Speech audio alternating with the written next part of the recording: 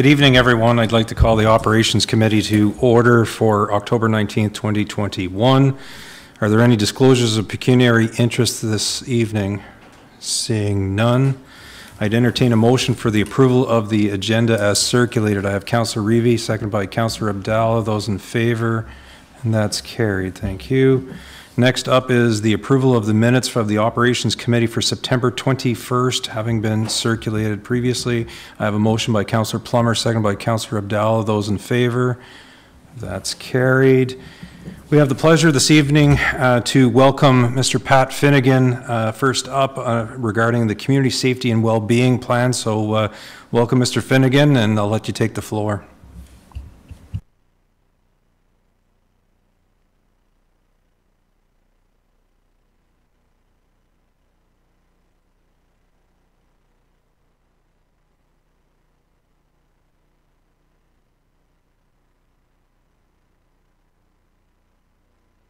Yes.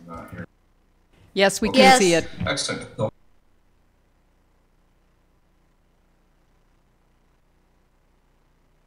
My name is Pat Finnegan.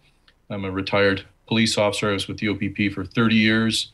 Uh, my last 10 as the detachment commander in Lennox and Addington County, working very closely with communities trying to solve community problems. I'm in my fourth year now at Loyalist College, teaching in the policing program. So I've kind of carried on with that particular theme. So just before we get started, I've got a couple of photos here, three to be exact, and uh, I'm going to suggest that anyone in the room can look at these photos and predict what could happen next. So uh, the young lad on the left with a knife, he's about to stick in an electrical outlet. Uh, he could uh, be electrocuted. There's a young toddler playing on the edge of a swimming pool. Um, I'm going to suggest unattended. Uh, she could fall in, she could drown. And we have a curious young fellow playing with matches, which, if they got out of control, he might set something on fire and place people's lives in danger. Now, as caring adults or community members, uh, anyone with a little bit of upstream thinking can uh, predict what might happen and then could intervene. You could, uh, with the young boy, they make covers for these outlets that protect them from children tampering with them. The, the utensils could be placed in a drawer that's locked. Uh, certainly, the toddler could be supervised and matches could be put away, and this young lad could be educated about fire safety, etc. So the whole idea here is that if it's predictable, it's preventable, and that's that's an old, maybe tired saying, but it but it still rings true, and that's what community safety and well-being planning is all about: figuring out who's at risk and why, and then getting upstream on that and trying to prevent it.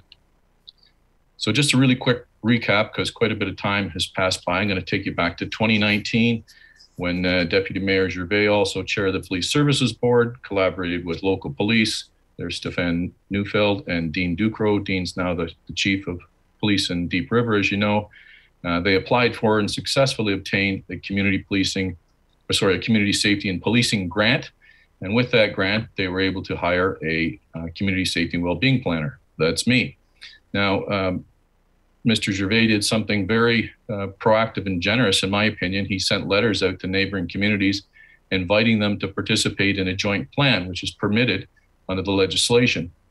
And there was a little hesitation at first, but eventually, um, you know, everybody uh, agreed to form this joint plan. And so those are the nine municipalities that we're now working together to develop a joint plan.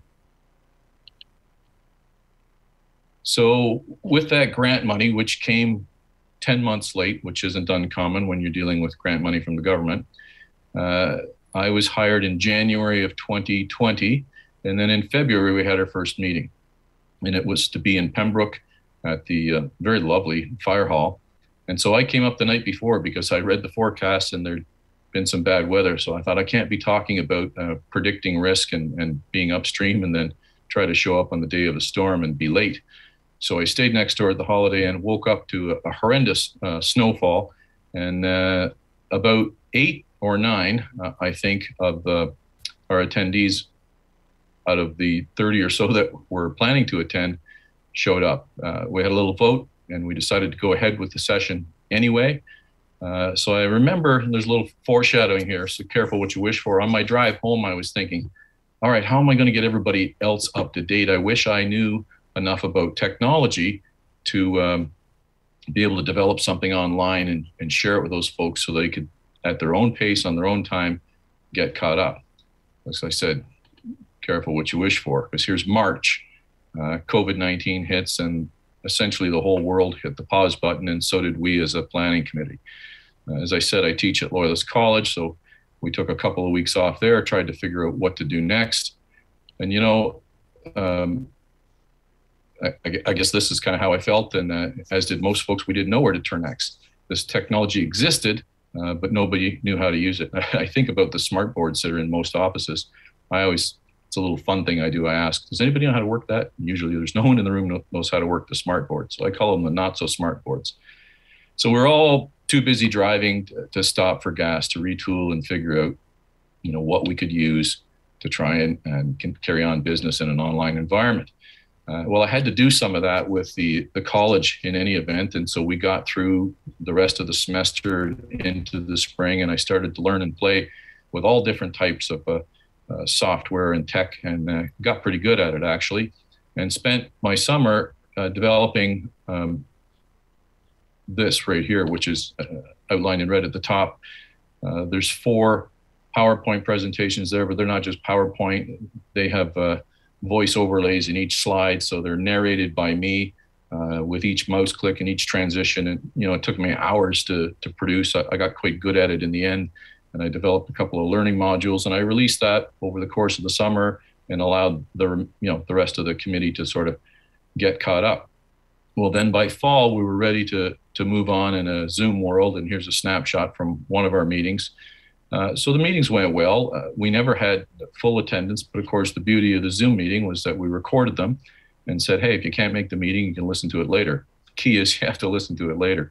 But I know at least one uh, member did because she she reached out to me and she said, you know what, I did the dishes and cooked a whole meal listening to that meeting, and I was so proud of myself at the end because it felt like a good use of my time. So we moved forward with these are cover slides from four different modules. So the first one was orientation, and then the data collection phase, the consultation phase, and the prior, prioritization phase. So, kind of in the in the fall and into December uh, of 2020, we completed the data collection and consultation phase.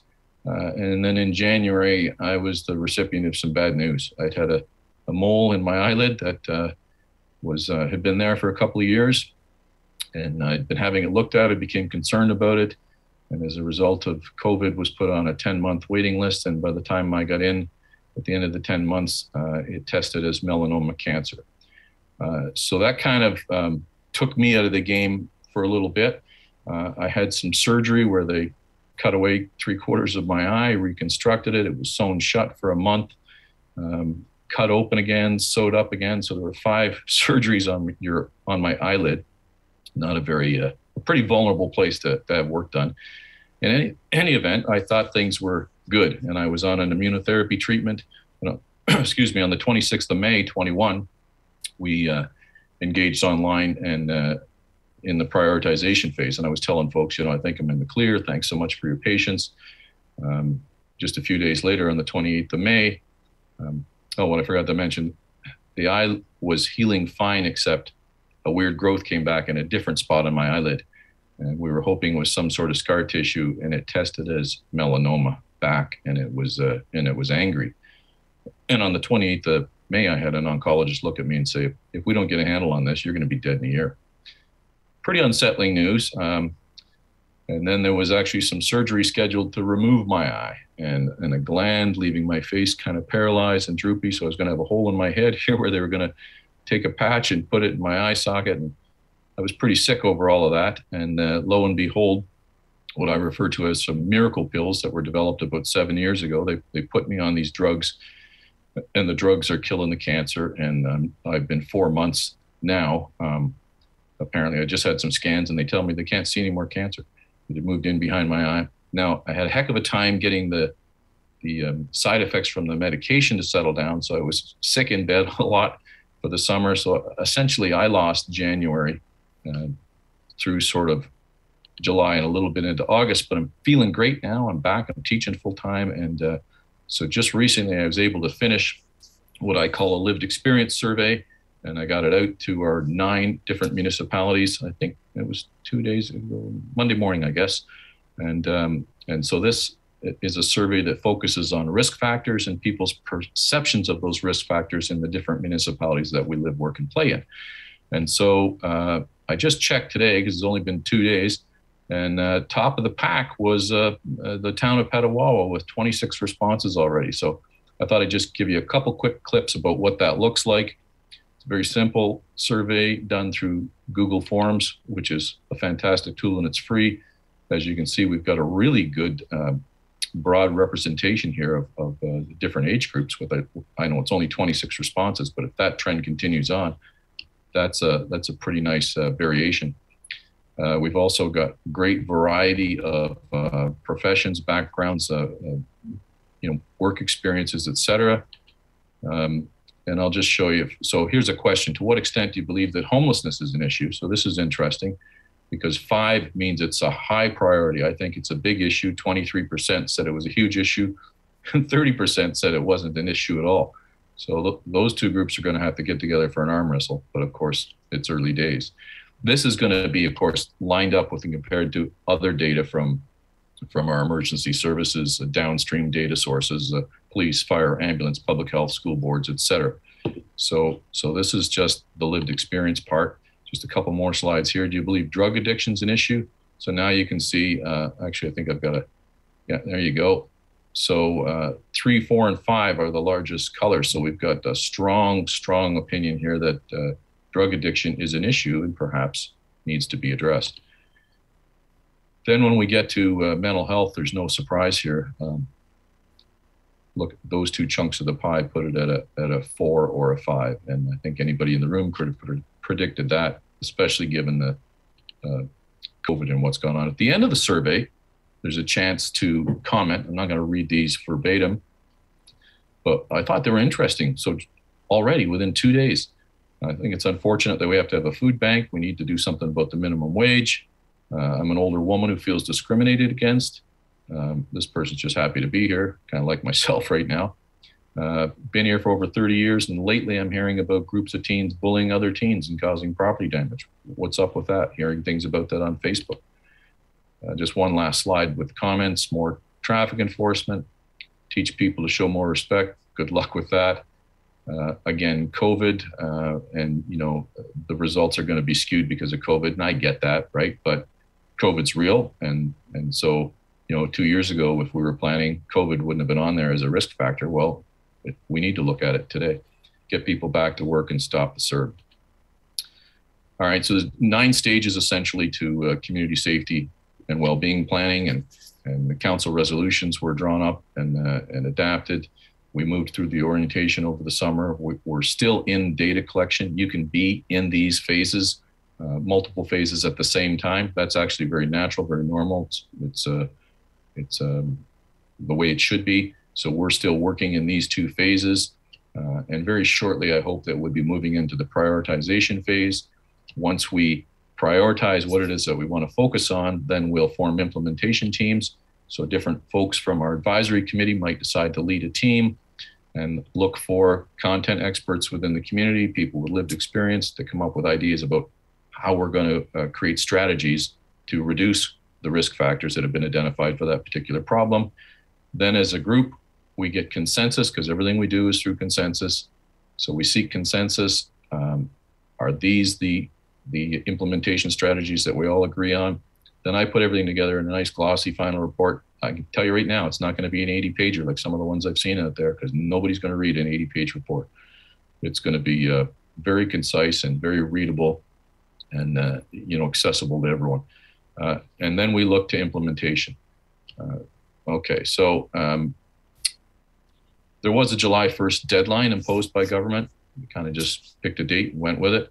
Uh, back in June, I knew we weren't going to meet that deadline. So, uh, on the advice of the ministry's lead, who I'm in touch with on a regular basis, she said, Pat, put a letter together representing the municipalities that you're working with and send it off to the Solicitor General, which I did.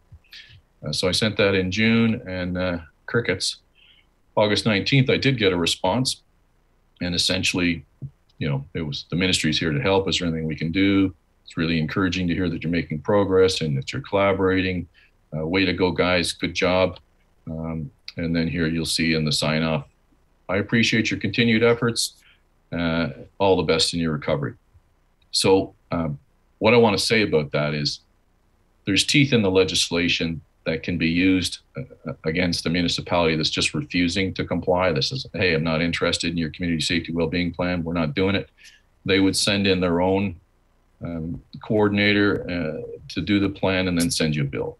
There's absolutely nothing that the, the ministry can do with a municipality that is in earnest trying to complete the plan, and that's us.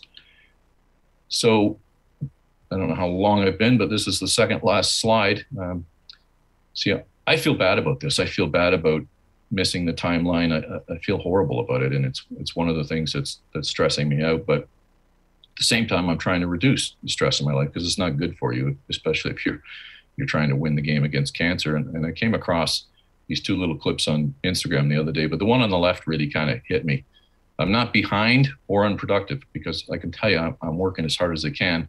I'm doing as much as my mind and body are allowing me to do under perpetual stress and fatigue. So, so like I said, I'm about 95% back to my old self, but I do have to take these uh, these these drugs every day and every night at uh, exactly the right time, and and I'm going to have to take them for a couple of years to, to make sure that I'm in the clear.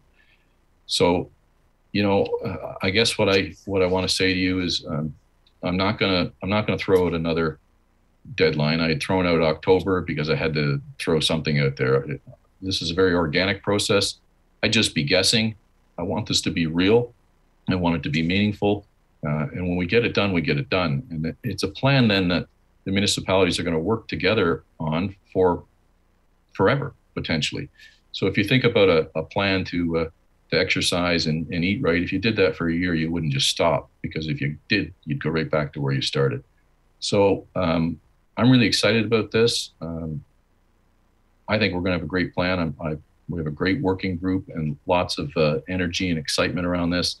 And right now, I can tell you that unless something changes dramatically for me, um, we've got momentum and we're moving forward. So it's not so much time to say goodbye. I'll stop the share and uh, and take questions. And I hope that I wasn't. Am I close to my 15 minutes? I'm always, I always go a little long. Problem at all, Pat. So is there any uh, uh, questions from council? So I have Councillor Abdallah and Councillor Lafreniere. Through the chair, thank you, Mr. Finnegan and, and it's very glad to hear that you're, you're getting better. You've been through a lot. Um, so the community safety well-being plan is a, is a great uh, thing for a community because it gets all the groups involved working on solving problems of discrimination and crime, drug addiction, etc. Um, I just want to clarify or confirm. So during the consultation process, you meet with uh, local school boards, law enforcement, mental health services, uh, social service agencies, and uh, local groups like we have the Grind, who help out the less fortunate with local meals and mental health support. And we, all, we also have a diversity committee that council adopted. Will you be meeting with them also? Yeah, so so right now because we can't do the the face to face very well, and uh, uh, I'm certainly what you would consider immunocompromised at the moment. So, uh, you know, we're doing the distance thing with the technology, and that's why I started with the lived experience survey. Um, soon, I'm going to release a PDF version of that, so folks that choose to can print it out and make it more accessible. So it could be that let's say for example you got people waiting in the in the police station. They could be invited to fill out a survey on hard copy and then if those were returned to me then i could enter all that information. But yes uh, it is my intention to engage those other groups and i had already heard about the grind and, and some of the work that they're doing there. So no for sure. And and what i may have to do is just kind of deputize deputize people on my behalf to go out and, and do that and then report that to the wider group Uh, Thank you. And, and just to add to what, uh, what Pat is saying, uh, early on, thanks to uh, Heidi at the back, uh, very early on, we gave Pat a very detailed list of uh, a lot of the stakeholders. And had it not been for COVID, certainly I think it would, it would be moving along a lot better. Certainly, the in-person meetings were, were fabulous, but I got to tell you, when we do even the Zoom meetings uh, with all the different individuals, and we're all there because we are interested and we want to see this uh, be successful, uh, um, this man is ex- extremely dialed in, and with him uh, directing the group, we can move along uh, quite well, uh, and everyone that's there uh, knows the contacts within their community. It- Pat will tell you, he's not from Renfrew County, and so uh, he's heavily relying upon, okay, who do you got in your community? So uh, Heidi was very good to create a very thorough list and say, uh, this is who you need to contact if you want to know what's going on in Pembroke. And then similarly, the other municipalities stepped to the plate and said, uh, this is who you need in our municipality, and to ensure that he had a a well-rounded idea, uh, and certainly, uh, uh, certainly educating uh, the the whole group in terms of uh, the the foundation of policing and things that I never knew, uh, knew before. So the very, very interesting meetings, I'll I'll give it that. Uh, Councillor Frenier. Thank you. Hi, Pat. Great name, by Hi. the way. Great name, by the way. Yeah. Um, Thank you. I just want to say thank you for your work. I'm happy to hear that uh, you're doing better. And I thought I sensed that you were trying to maybe tell us why you're a little late, but no explanation is needed. Please don't feel like, oh, you know, he's taking way too long, uh, because this is a well-being plan, and I know that you have the support of council to take your time to make sure you look after yourself, because this will take care of itself eventually. So really, just put yourself first, okay? Yeah, well, thanks very much for that. Yeah. And, you know, that is on my mind. It, I've never missed a deadline. I've stayed up all night to, to meet one, but I've never missed one. And, uh, and so this is bothering me, even though I think, you know, I've got the, the trifecta of excuses in that the, the money came 10 months late. We had a pandemic and then I got cancer. I still feel bad. And uh, so if you sense some of that, you're right. Don't feel But- bad, okay? Thank you for- Thank you. Any other questions from councillors? If not, I want, I want to thank you again, Pat, for giving us this update and this presentation to, uh, uh, to, Deputy Mayor, Deputy Mayor, I had, had a question. oh. Councillor Jacquino? Thank you. Uh, you can hear me. Uh, thank you, uh, Pat, for your, uh, for your wonderful presentation. And I'm glad to hear that, uh, the deputy mayor and his, uh, tremendous wisdom and knowledge invited all the other communities around our area to come together. That shows, uh, tremendous leadership as well. Um, and I like to hear the fact that you said you're not going to produce an 80 page report. I'm glad to see that we still have people with common sense among us. Obviously, you're one of them, and I just want to commend you as uh, you know having the uh, that superior human. Uh, how would I put it? Uh, drive and ethic to carry on in the face of adver- uh, adversity. Uh, the OPP obviously has uh, been fortunate to have a person of your caliber within their organization for such a long time and to have you at a, uh college expressing your you know your wisdom to young people coming up i think you're leaving your mark with all of us so uh, just keep doing what you're doing and when you're busy you can't be thinking about being sick so uh, continue with that i'm very pleased to uh, have met you uh, through the zoom process and uh, good luck thanks No, you, you've got that exactly right, and thank you for those words. And um, you know, I went through a period of the summer where I started, uh, you know, I was more well than I'd ever been, but then I actually got kind of depressed. I went through a two-week period where I couldn't hardly. I knew I needed to be doing things, and I, I couldn't make myself do anything, and, and and so I was able to get myself out of that. I'm a big self-help guru, uh, but it's given me some empathy now for people who are actually experiencing depression because I'd never experienced that in my, in my life, and it, you know, I just could not move forward. I just couldn't make myself do it. But when school started, you know, I didn't have a choice, and of course, uh, you're right. You can't think about two things at the same time. So, so that's been that's been absolutely healing for me, and it's given me the chance to kind of build my energy back up, and then and now I'm hitting my stride again with the with the safety planning, and and, and everything is good. And then just one other comment, you said, you know, maybe I'm wise to, to want to keep it simple, but it, it was Albert Einstein said, if you're setting goals and you don't write them in a way that a five year old can understand them, then you probably don't have very clear goals. So that's that's what I'm thinking. Thank you again, uh, Pat. Good night. All right, thanks, guys. Have a great night. Appreciate the time. Bye bye. Bye. The next up we have this evening is the 2020 draft financial statements, and we have with us tonight, uh, tonight it's our pleasure to have uh, um, Fred Sinclair as well as uh, our treasurer, Ms. Lochte. So Ms. Lochte, do you want to uh, kick off? Thank you, Deputy Mayor.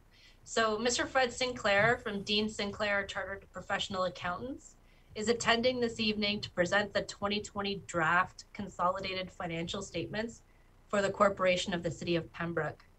So following his presentation tonight, staff is recommending that committee accept the draft consolidated financial statements for the year ended December 31st, 2020 as final as presented. And I'll pass it on to Mr. Sinclair. Thank you. Thank you, Angela, and good evening, everyone. I was, can I share screen?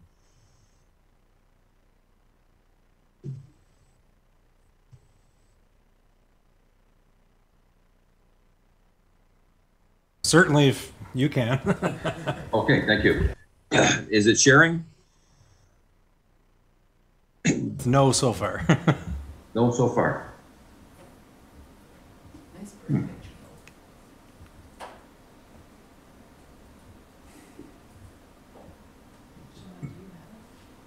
Is it sharing now? Yep. Yes. Okay, thank you. So, um, as Angela said, I'm here to present the financial statements for the year ended December 31st, 2020. These are the consolidated financial statements, so they don't uh, jive concisely what you've been seeing all year because they include all the entities that the city has control of. So, as consolidated financial statements, they include the city, the library board, the BIA. They're adjusted for public sector accounting board standards, so they include capital assets and depreciation. They also uh, include your consolidated share of the airport, as well as the waste management board. And we also include on a portion of consolidation, a modified consolidated basis, the two um, hydro utilities. But they are the financial statements that are required to present to the province of Ontario. They're intended to be a public document for ratepayers, uh, lending agencies. Province uses these to analyze your financial condition and so on. So the first page, I'm looking right now at the index page, and um, it just details all the financial statements in the package. I won't go into all of them. I'll go into some of them and make highlights. Um, first page, um, page four is our independent audit report. There are reports directed to members and ratepayers, inhabitants and ratepayers of the city of Pembroke. We conducted, we audited the consolidated financial statements of the corporation, city of Pembroke, which are comprised of the consolidated statement of financial position as, of December 31st, 2020, as well as the consolidated statement of operations, change in net financial assets and cash flows for the year that ended, and the notes to the accounting and the notes to the financial statements. In our opinion, the financial statements present fairly your financial position as at December 31st, 2020, and the results of operations for the year that ended. We've conducted our audit in accordance with Canadian generally accepted auditing standards and conducted all the procedures we felt necessary in the circumstances. And in our opinion, the financial statements are presented fairly and correctly. It's essentially what we call a clean audit opinion. So we're saying that the financial statements are materially correct.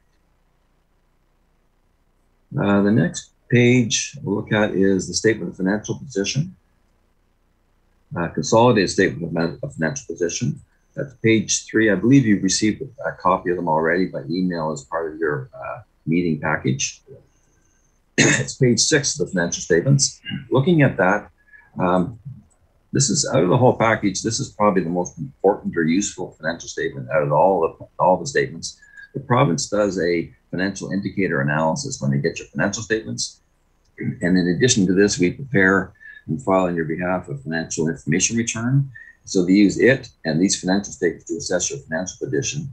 This statement, the statement of financial position, is used as a basis for six out of seven of the financial indicators. So I'll point them out as I go along and, and present some of the information here. So looking at this statement then, your bottom line, the accumulated surplus at the end of the year is $147,135,341, up from roughly $138,000 last year. You've had a roughly 8.8 million increase in your financial position this year, which is a, a very good improvement increase over the year. I'll turn right now to page 14, which gives a detail of how that accumulated surplus is held. There's a number of components.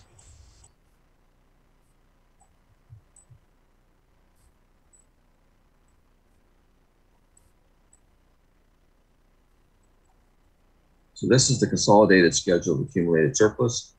You see that the total at the bottom, 147 million, ties into the statement financial position. So your surplus is comprised of uh, reserves, excuse me, reserve funds of 9.8 million compared to 9132 last year. Reserves of $10,858,526 compared to $10,461,348 last year. So you can see your reserves and reserve funds have increased by roughly little over a million dollars this year. So that's good. Um, in terms of comparing you to other municipalities your size, you're in a in a good position reserve wise. Your reserves are slightly higher than most municipalities your size in this region. Looking at the reserves, there's two key new ones this year. Under reserve funds, you'll see uh, there's a COVID 19 safe restart reserve. The reserve fund was established this year for 567,759. And there was a contingency reserve established this year as well at 590,179. The contingency was set up for uh, legal fees or legal contingency of 200,000 and an operating reserve of 390,179. If those, the resolutions state that if those don't get used for those purposes, they are to go towards the aquatic center.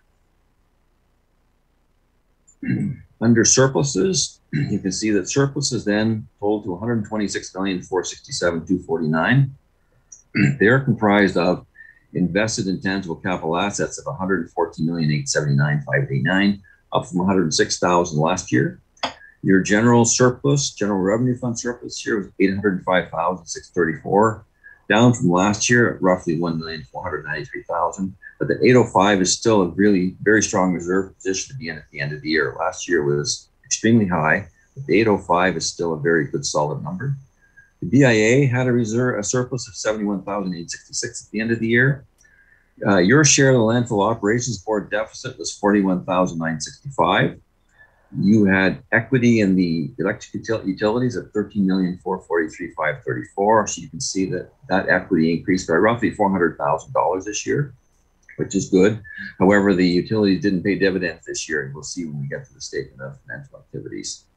And then we have unfunded liabilities uh, employment benefits, which unfunded amounts of two million two hundred ninety-seven thousand, and landfill closure costs of three hundred ninety-three thousand. So all told, there were total surplus of one twenty-six four sixty-seven two forty-nine, plus reserve funds of twenty million six sixty-eight oh ninety-two, which add up to total surplus of one hundred forty-seven million one thirty-five three forty-one, which is a very significant increase. The increase is roughly roughly 8.8 million over the previous year. So you had a very good financial year this year. I'm going back to the statement of financial position, page, um, page six.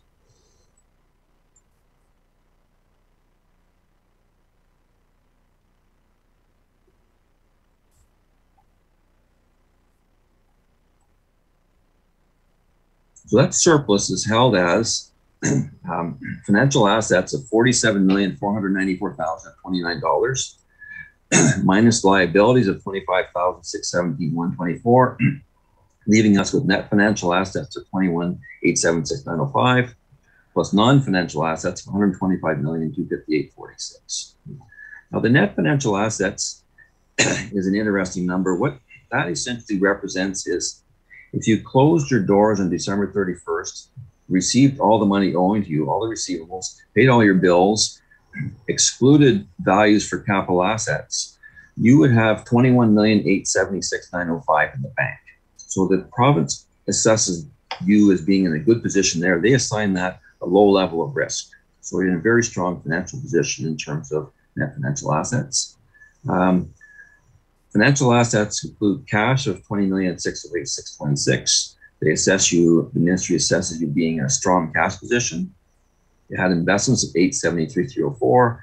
A little bit misleading. Those are actually your shares of investments of the waste management site in the airport that arise upon consolidation. Tax receivable of one million eight eighty nine six ninety compared to one million six sixty seven one hundred four last year. You're up roughly two hundred thousand over last year. It represents roughly seven point two percent of your total billings. You're still considered in the low risk category. Last year, your total taxes in arrears were six point five percent. So there is a slight increase this year on a percentage basis, but you're still in a very good position in terms of your tax arrears, especially when you're compared to um, similar municipalities. Water and sewer receivables were close to last year at 395,000. Other accounts receivable were 3,244,731. That's up over last year. It's mostly a result of capital grants still outstanding at the end of the year. Um, inventories for resale is your fuels at the marina plus your share of airport fuels. And then, as I said earlier, your investment in municipal electric utilities was 13,443,534. Overall, they add up to roughly 47 Non-financial assets include your um, investment in tangible capital assets at depreciated value is roughly 124 million 737. That's up significantly this year. So that has contributed in large part to your increase in accumulated surplus because you had a lot of investments in capital assets this year, uh, far in excess of your depreciation at normal rates. Um, so looking at that overall then, or in terms of an assessment of your financial condition, the ministry considers you to be in a strong surplus position, strong cash position, a strong position in terms of accounts or tax receivable, and a strong debt position as well. Under long-term debt, you can see at the end of the year there was long-term liabilities of 17 million and 50,899, down from last year, roughly one paid down roughly 1.5 million in debt this year. So you're considered you're they assess your debt level at being at a moderate risk, but you're just on the cusp of being in a low risk assessment for debt. In fact, uh, by the end of this year, once you make your first payment on debt in 2022, without incurring more debt, you will be in what the ministry considers a low risk category for your debt position. Also in liabilities, there are accounts payable at the end of the year of 5,181,000, close to last year. Um, deferred revenues, you'll see there's a significant decline there uh, 655,909 compared to 250,000 last year. Use some of your gas tax funds for capital purposes this year, which is what the intent was. And then we have unfunded liabilities for employee benefits and landfill, closure costs, as I said before. Uh, moving on to the statement of operations. The next page, you can see um, you had an annual surplus of 8,868,927. Again, a very significant surplus this year. Uh, last year was significant. This year was even better. So you've had a really good year in terms of your overall uh, financial condition. Revenues this year amounted to 44,519,071. Expenditures were 35,650,144. It's a little hard to compare to budget. The better comparative figure is last year. So your revenues are up roughly 1.5 million over last year. Expenses are down roughly 300,000 over last year. They don't quite match up with the budget because when you prepare your budget, you prepare it for uh, municipal operating purposes. The budget doesn't include capital asset depreciation values, whereas the actual report, the actual reported numbers do include depreciation, changes in reserves, and so on. But overall, uh, that bottom line accumulated surplus ties into the balance on the statement financial position. The next statement, uh, statement in net change in net financial assets, just this details that change in your net residual cash position, if you will. Uh, so you ended up in a very strong net financial asset position of 21,876,905. The next schedule is a statement of cash flows, takes your operating expenditures and converts it to change in cash position. So you can see that um, you did have a decline in cash this year, mostly because you bought capital assets. You started the year with roughly 21, 29,589 in cash, ended with 27 608, but you're still in a very strong cash position. The next schedule, I'll go through it quickly because there are a lot of schedules. The next schedule, um, schedule two, just details, um, sorry, schedule one details reserves. Uh, it includes reserve funds. You can see that you started with combined balances of 19,593, flows through to reserves and reserve funds of 20,668,092 at the end of the year. And as I said, you're in a very good position in terms of reserve funds compared to municipalities of your size. Schedule two is lumped into Schedule one as well. Schedule three uh, details changes in deferred revenues. You can see the big change this year is in uh, the federal gas tax, where you used, um, uh, excuse me, um, yes, you transferred two million three hundred thirty-five thousand seven seventy-two capital.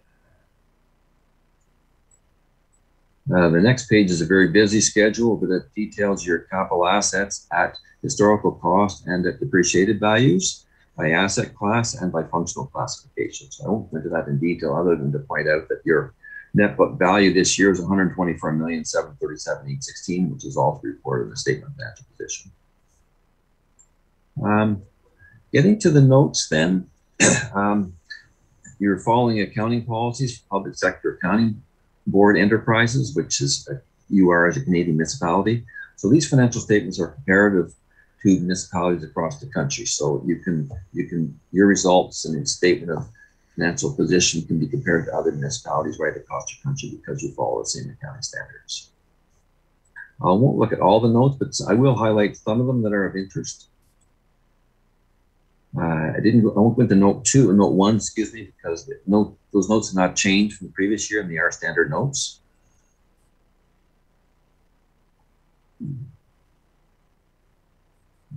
And note two details cash. So out of your cash, roughly 10 million 465 of that is reserve fund cash and obligatory reserve cash. So um, that's required to be set aside for those purposes. The investments are your share of investments held by uh, the airport and by the Waste Management Board. Note four is a fairly long, lengthy note with just details, required disclosure, details your investment in the electric, electric utilities. I won't put that in great detail, but you can see those numbers tie into the of finance position. But it provides extra information for the users if you want to see how those utilities did this year, what your share of their assets and equity is.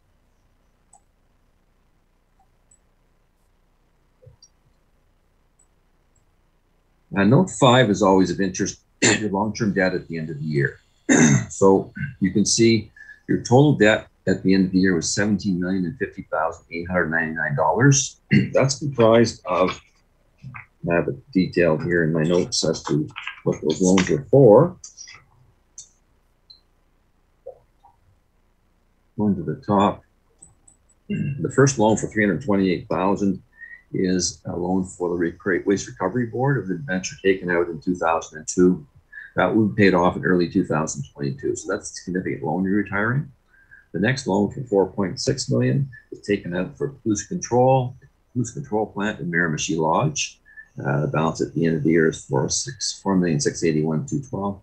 That will be paid off in 2026. Uh, the next loan for three million thirty six thousand is taken out for uh, road pro- road and bridge projects in 2012. The balance now is three million thirty-six thousand nine forty-nine. Won't be paid off until 2042. Uh, the loan for 3.9 million, 3,952,517 is for the OPP station. That won't be paid off until 2045. The um, the loan for 184,620 was taken out for streetlight upgrades with uh, our River Energy Solutions. That will be paid off at the end of, of at the end of next year. That's one more year to go on that. Actually, in a couple of months, that will be paid off. Uh, the next loan, fifteen thousand, will be paid off early next year. That's your share of a lease at the Waste Management Board. Uh, then the next loan, next large loan for four point seven million, was for the fire hall and for the pumping station. That won't be paid off until 2048. Then your share of debentures uh, issued by uh, the airport is $60,024 they come due in 2040. That's a new debenture issued this year. so you're in a very strong debt position right now as well. As I said, um, early in the new year, you'd be in a low risk category. Now I know you've got new uh, debt plan for the future. There's some major projects coming up. I believe um, the treasurer has given me the details of, of what those projects are And uh, there's three major projects. I believe the total cost of those was roughly $18 million. You could fund those with new debt and still be in a low risk, excuse me, still be in the medium risk category. So really, you could fund those and, and still be in the same risk assessment category you're in now. your overall, it's kind of strange because the province assigns a debt capacity calculation for you. So using their uh, annual repayment limits and running the calculation on that using a normal interest rate, well, I'm, I'm at a little high, even at, at 5%, you would be allowed to borrow as much as sixty, sixty-five thousand dollars. I'm not ever suggesting do that, but it gives you an idea of how much debt the municipality could borrow. However, having said that, if you borrowed much more than 20 million, you'd be put into the province would assess you as being in a high risk category for debt.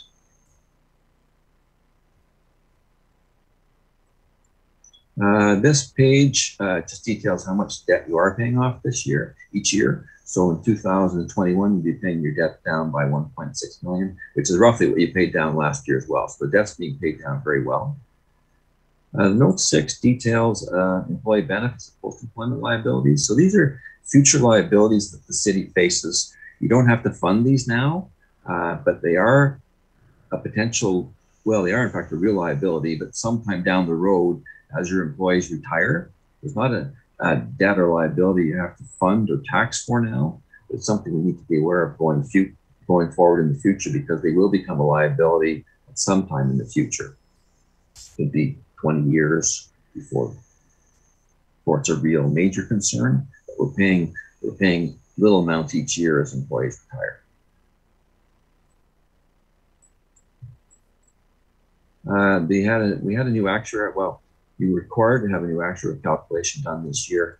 So note six provides additional information on the results of the actuarial calculation. I won't go into that in detail, other than to say that they've they've calculated an accrued liability at the end of the year of one, roughly 1.3 million, which we factored into our numbers.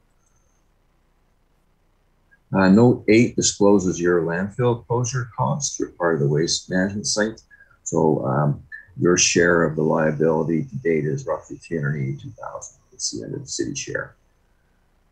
Uh, note nine details expenditures by object. The financial statements present expenditures by function, but we are required to disclose uh, expenditures by object as well. So this details how much you spend on wages and benefits, how much on long-term debt, and so on.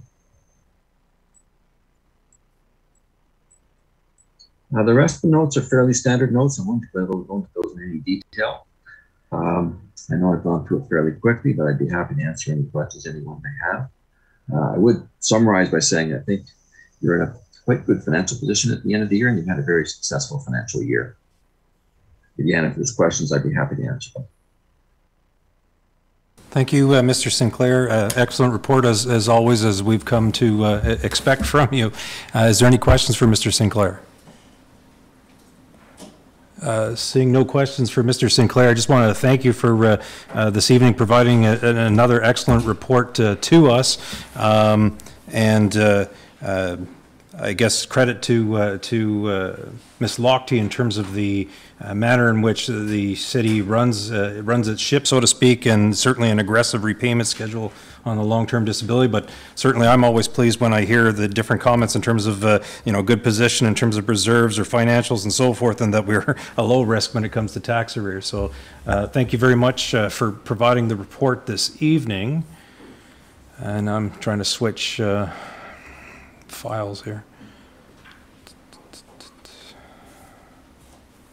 So as I understand it, uh, Mr. Sinclair and Ms. Lochte, you're looking for a motion uh, to accept the draft consolidated financial statements for the year ending December 31st, 2020? That's correct.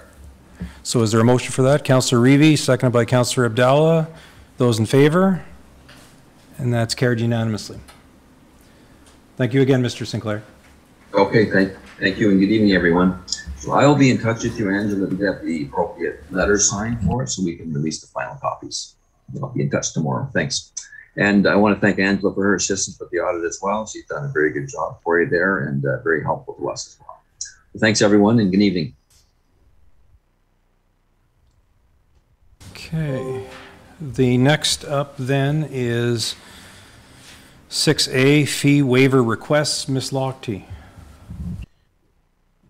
Thank you, uh, Deputy Mayor. Uh, So the organizers of uh, Vendors of the Valley are holding their first Fall Hall Market um, on October 22nd, 2021 at 2 International Drive in Pembroke. So this is a vendor market featuring local vendors to purchase products from as well as uh, food and beverages from local businesses. Um, This year, the proceeds from the market via ticket sales and sponsorships uh, after costs are deducted will be going towards the Pembroke Regional Hospital Foundation. Uh, the organizers of this event have asked that the uh, business license fees be waived for this event.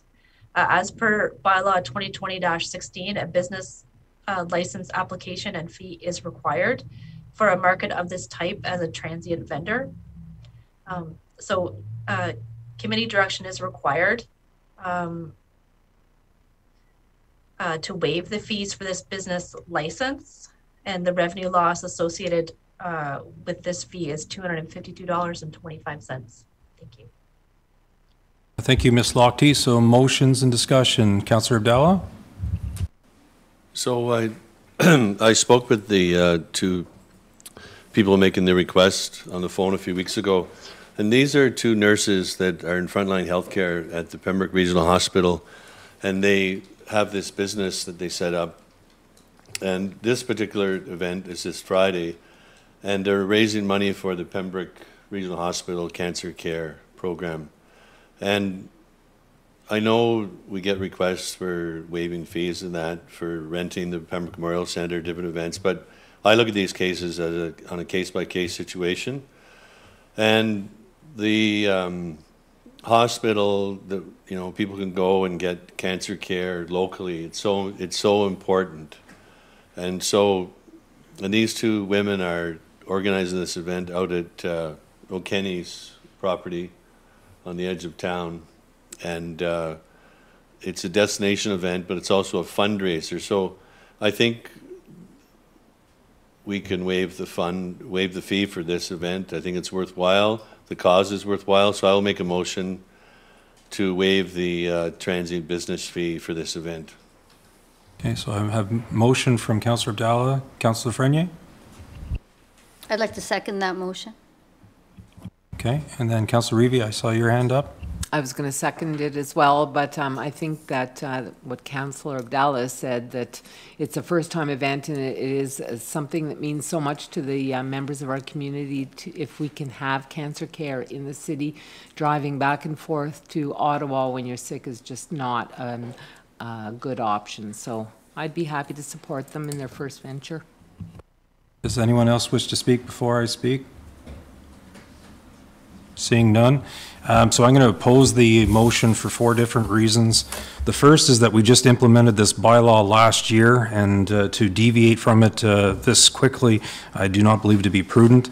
The second one is when I read the letter that uh, was accompanying the particular report, it says that the uh, parties are requesting that there be this waiver of this uh, charge by the city of Pembroke. However, it doesn't appear that they're waiving any of their costs. It says that uh, money will be given to the charity after the market costs are deducted, which I presume is their, uh, their take on the particular uh, event.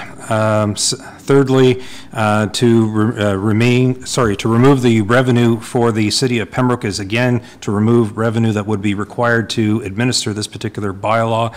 And last but not least, uh, which is the most important part of the reason, as I understand it, why this bylaw was passed last year, uh, was to level the playing field between the commercial taxpayers that already exist in the city of Pembroke and temporary vendors, which is what this is. So for all those reasons, I would be opposing the motion. I don't know if anyone else wishes to speak before I call the vote. Councillor Lafreniere, and I have Councillor Abdallah. I understand uh, the intent of your comments, uh, because we just created a bylaw. I guess the thing is, there's a lot of fundraisers in the community that probably fall under the radar on something like this. Often, if a charity is having a fundraiser, people do bring their wares to maybe a cafeteria and, you know, have a silent auction or whatever you want to call it. And often, the expenses of the organization that are putting on the fundraiser are deducted, and all the profit is donated. And sometimes they do come under the radar if they're held in a cafeteria of an organization or a sidewalk, let's say, of someone's home. So I think that because this came to the attention of the city, that's why they found out there was a permit and blah, blah, blah, blah, blah. So I- I'm not saying our permit is wrong. I'm just saying that there are a lot of charities that have events that do fly under the radar. And organization, organizations come in, support the event, display their wares, take their profit, and donate the rest. That's all I'm saying. So I'll continue to support this because at least they were, they came to us and they were honest about what they're doing, and the proceeds are going to a very worthy cause. It's not a large amount of money. It's not like we're waiving the PMC fees, so I will still support this motion. Okay, I have Councillor Abdallah, and then I have his worship. So just to clarify, when I spoke to them on the phone, they are doing this out of the goodness of their heart, this event, and they're working very hard at it, and they are not taking money themselves for this event.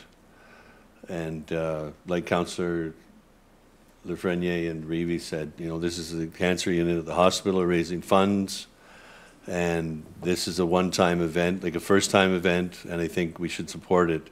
But they are not taking a cut of any profit. All the direct profit will go to the hospital. An expense like renting tables and that, that's a cost, but they are not personally benefiting from this. Thank you. Your worship? I'm prepared to uh, support this request. Um, We realize that as far as the Pembroke Regional Hospital is concerned, there are a lot of items that aren't covered uh, by the province, and one of them, for instance, is the cancer care that they are, they are trying to raise the funds for. And it's a case of raising, trying to raise over 200, I'm sorry, uh, $2 million. And they had a very successful On Gala campaign, but they've also, it's been a, it's been a rough year, I, I think, for all charities trying to raise funds. But uh, with the district hospital being in the city of Pembroke, and uh, uh, the fact that, again, the bulk of the money is going to the hospital, which helps all of us, especially in regards to cancer care. And I agree with Councillor Reavie, not having to drive to Ottawa to be able to receive the service here within the city, I think is so important. So I, I, I just see it as a, a donation to the foundation, which is of value. Thank you. Councillor Jacyno? Thank you, Deputy Mayor. Uh, I'm in a bit of a quandary with that one as well. We seem to, you know, uh, dole out money to people that are putting on performances at seniors' homes without any regard for the financial impact. But then again, here's a small amount of money is being requested to be waived uh, for a good cause. And I mean, we had an individual speaking be- before us this evening, Pat Finnegan, you know, who suffered through uh, a debilitating disease, cancer, and still carries on the fight. And I think for that reason, I will be voting in favor of supporting this uh, this motion. As well, it brings people together, and we duly really do need that after the uh, you know the COVID depression that a lot of people have been in. People need to get out. They need to be distanced, of course, but they need to socialize. The fact that there's human interaction is very important. And for 243 bucks, I'll be voting in favor. Councillor Plummer? Thank you, Deputy Mayor. Um, First of all, we understand that cancer is a very, you know, debilitating disease, and we want to support anything we can to do that. But I'm, uh, will not be voting in favor of the motion, just on the basis of every time we, it's very easy to give away other people's money. If we wanted to give a donation, we feel strongly about a, about something, there's certainly nothing stopping any individual to donate from their own pocket. Um, at any time, someone can make a request. I do get phone calls, do you want to support this charity, this charity? And you give what you can, um, but just, I'm not in favor of giving away the public purse, because it's not my money. Thanks. So I think uh, everyone has had their uh, say, so I'll call the question on the motion that's already on the floor. Those in favor? And against, and the motion is carried. Uh, Thank you, Ms. Lochte. The next item up is vehicle purchasing. Mr. Lewis. Thank you, Mr. Chair. The Operations Department is seeking approval from the committee to proceed with the procurement of four pickup trucks in 2021, with the money to come out of fleet reserves in 2022. As per our procurement policy, committee must approve the procurement before we can proceed with tendering for the vehicles. The fleet replacement schedule includes four pickup trucks to be replaced in 2022. Information to date leads the department to believe that it will take roughly eight to 10 months for delivery of the vehicles due to shortages in parts for manufacturing. Presently, we are one truck down as it had to be taken out of service due to deficiencies in the frame and the use of the former fire chief's vehicle as an alternate is not an option as that vehicle has also been taken off the road. The operations department is util- utilizing the director's vehicle and the old Bylock car for employees doing locates and for staff transportation. The four pickup trucks being replaced range from a 2006 model up to a 2012 model and are all beyond their estimated useful life. All vehicles suitable for sale will be included in the city's surplus sale in 2022. There is no allocation for replacement of these, these vehicles in 2021, nor do we anticipate delivery this year, but rather are starting procurement to minimize delay. Total budget required for these replacements is approximately 132,000, and the forecasted balance of the fleet reserves for 2022 is roughly $450,000. Thank you, Mr. Chair. Thank you, uh, Mr. Lewis. Uh, Questions, comments, motions? Mr. uh, Council Plummer? Uh, Thank you, Deputy Mayor. I would uh, so move that we uh, proceed with the uh, procurement of these vehicles and as uh, we give the manager operations a, you know, leeway to uh, start the process. Thank you. Is there a seconder? Councilor Reavie is seconding that motion. I also have a question. Are we going to have any difficulties with the color of the vehicles like we've had in past? Through you, Mr. Chair, we don't anticipate that. Um, With the advance opportunity to procure now, we anticipate we'll be able to get the colors that we, uh, we need for our fleet. Thanks. Mr. Jacyno? Thank you, uh, Deputy Mayor, as it is a changing world, and we're all uh, in the process of trying to save the planet, so to speak. Has any consideration been given in the purchase of those vehicles or the requirement to have them as electric? Through you, Mr. Chair, we have been doing some research on electric vehicles. Um, Electric pickup trucks are still fairly new in the world. Um, There's not too many of them around. The prices of those vehicles are extremely high at, at present. There are some hybrid uh, half-ton models that are out there as well, and we've been doing some look at those. We do not have the infrastructure to uh, to handle electric vehicles here at the operations department, so that would be uh, some difficulty as well to try and uh, procure and install uh, charging stations and so forth. So for this particular procurement, we're not looking at electric vehicles, but it is something that we're looking at in the future.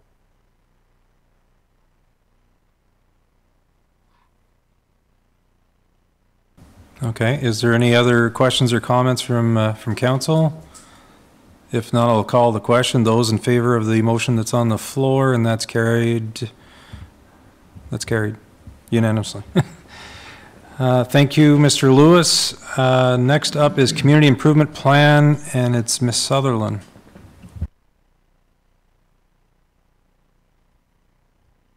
Hi, everyone.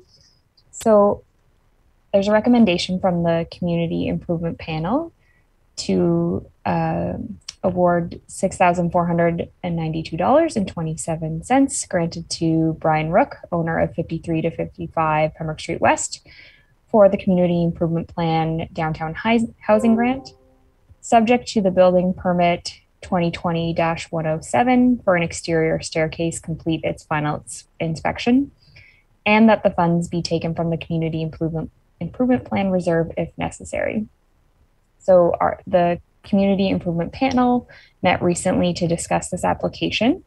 Uh, the applicant is looking at the downtown housing grant and plans to fully renovate the kitchen and install new flooring and new paint in one unit, as well as renovate bathroom fixtures and install new flooring and new paint in a second unit.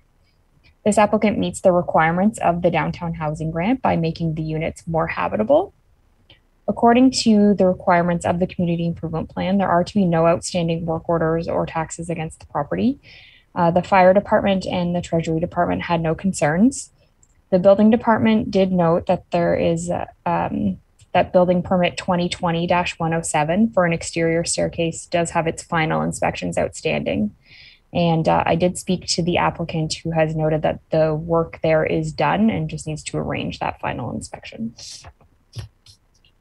So according to the low quote of the two quotes provided, the improvements will cost $12,984.53. Based on the guidelines of this grant, 50% of the work can be reimbursed up to a maximum of $5,000 per unit for up to two units. Therefore, this application is eligible for a grant of $6,492.27. I will note that the community improvement plan budget is for this year is $50,000. To date, $7,269 has been paid out. So if this application is approved, the total outstanding grants would be $60,172.36. So if all the applications close in 2021, the budget would be over budget by $17,000 and change. Um, the treasurer has confirmed there is $68,000 in the community improvement plan reserve. Therefore, it is possible that this application will need to be funded by funds from the reserve. Thank you. Any motions, questions, comments? I have Councillor Abdallah. Motion to accept the recommendation, and approve the funds from the CIP uh, grant. Okay, and seconded by Councillor Reavie, yes. Any discussion on that motion? Have to keep looking to see if Councillor Jacyno puts up his hand. Uh, Okay, those in favor? And that's carried, thank you. Uh, Next up is 6D Algonquin Trail, and this is Mr. Lapierre's matter. Uh, Thank you, Mr. Chair. Uh, Staff uh, requires direction regarding the use of motorized vehicles on the Algonquin Trail within the city of Pembroke, and options include to not authorize any form of motorized use, or to authorize snowmobile and ATV use, or to authorize only snowmobile use, or to authorize only ATV use. Staff also requires committee's direction uh, on reviewing the city's current snowmobile and ATV bylaws to facilitate snowmobile and ATV access to local businesses. This would be as a result of any decisions this evening. So my intention is not to uh, go over the full report. You do have a comprehensive report that's been provided to you. However, I will state the following, that this matter has been discussed for a few years now by council, and uh, there has been two presentations from County of Renfrew staff as well as their elected. City staff have presented reports on four separate occasions, and uh, council has also received information from the local snowmobile and ATV club. There's been two surveys that have been conducted, and petitions have been received, the majority uh, in favor of motorized use on the trail, although there were some concerns also received. Uh, At the August 10th combined committee meeting, staff was directed to respond to various questions or concerns uh, that were to be provided by council members. So staff has taken the following actions to that end. Staff has met in person with County of Renfrew staff responsible for management of the trail. Staff has sought input from the County ATV Club as well as the snowmobile uh, representatives, and you do have uh, detailed responses uh, from the questions posed to those particular uh, groups and individuals. So the results of these interactions is in the report before committee this evening. And the Director of Operations, Mr. Lewis, and I or we'll be happy to respond to any questions that committee members may have. Thank you, Mr. Lapierre. Uh, Your worship? Thank you, Mr. Lapierre, for the comprehensive report, because it really did answer a lot of the questions that council uh, has or committee has. Uh, Therefore, I'd like to put the following motion on the floor. That the Operations Committee authorizes snowmobile and ATV use on the Algonquin Trail within the city of Pembroke with re- the required bylaw to come before council at its November the 2nd, 2021 meeting for endorsement. And further, that city staff be directed to meet with County of Renfrew staff to address and mitigate issues and opportunities related to the Algonquin Trail as required. I have a seconder for that motion so that we can get at least this much accomplished. So, uh, well, I have Councillor Abdallah, is it, okay? So it's, I, I do have a seconder. So what, in keeping with our procedural bylaw, uh, if we can each, if you want to, speak to it once, and that includes myself at the end of the first go-around. If there is to be reply, we can do reply once. We, as Mr. Lapierre said, we've already discussed this matter four, three or four times at, at the very least. Uh, so if we follow the procedural bylaw, we should be able to move through this important issue. So having said that, uh, your worship, you made the motion. Did you wish to speak to it first, or have you spoken to it as you wanted to? I'd like to speak to it, but I'll be short. Um, uh, over the years, uh, when this first came up, and, and I know it's been on the table for an awful long time, I've always made the statement that I think it's important, of course, that issues be mitigated, but also what's very important from the word goes economic development of the city. And the case of are there economic benefits? And over the years, especially the last, I would say, probably four years, we've realized that tourism and Pembroke as a destination is extremely important. And in regards to uh, the tourism, we put out, uh, we received a marketing uh, report 2019. And part of that report indicated the importance of, uh, of tourism within the city. And I think we're seeing the results. Well, at COVID, uh, we've noticed that more and more people are involving themselves in recreation. Part of that recreation, of course, is motorized recreation. But I go back to the economic benefits. And having talked, there is not one business in this town that I'm aware of, and I've spoken to several over the years, who are not in favor of permitting the motorized um, vehicles because definitely the, the, the, hotels will definitely benefit, the restaurants will definitely uh, benefit, also the garages. And I think one thing that's very important when we're, when we're looking at the economy of the city, at the present time, our taxpayers, the revenue we get, 69% of that comes from the taxpayers, both residential, commercial, and industrial. And the commercial uh, is extremely important to us. If we're going to be able to lower uh, that revenue from the city. We may not be able to lower it, but I sure hope we're going to be able to. It's a case of the commercial businesses. We have to help them as much as possible. And I think this is one way of doing it. And I think we have to look long term over the next several years when, we, when we're looking at the city as a destination we have everything here for us. We have the beautiful waterfront, we have the murals, we, we have everything where we could gather people here. And at the same time, what helps us here is we are now involving the four seasons, and I think that's what's important. And I'm now, granted, I've only spoken to a few people who have moved to the city uh, since the summer, and we know very well that some of them were quite uh, annoyed the fact they couldn't park their boats because as it is now, they're moving from the city. What a beautiful area, but we have uh, a tremendous number of people wishing to use uh, the, the, slips down at the marina. So the summer and spring were well covered, um, but fall, winter, uh, I, I think this will encourage people to come to the city. And I know there are various events that, that could be held. So uh, I, the economic be benefits, uh, as far as I'm concerned, outweigh uh, some of the issues that we have because we could correct and work on, on the issues.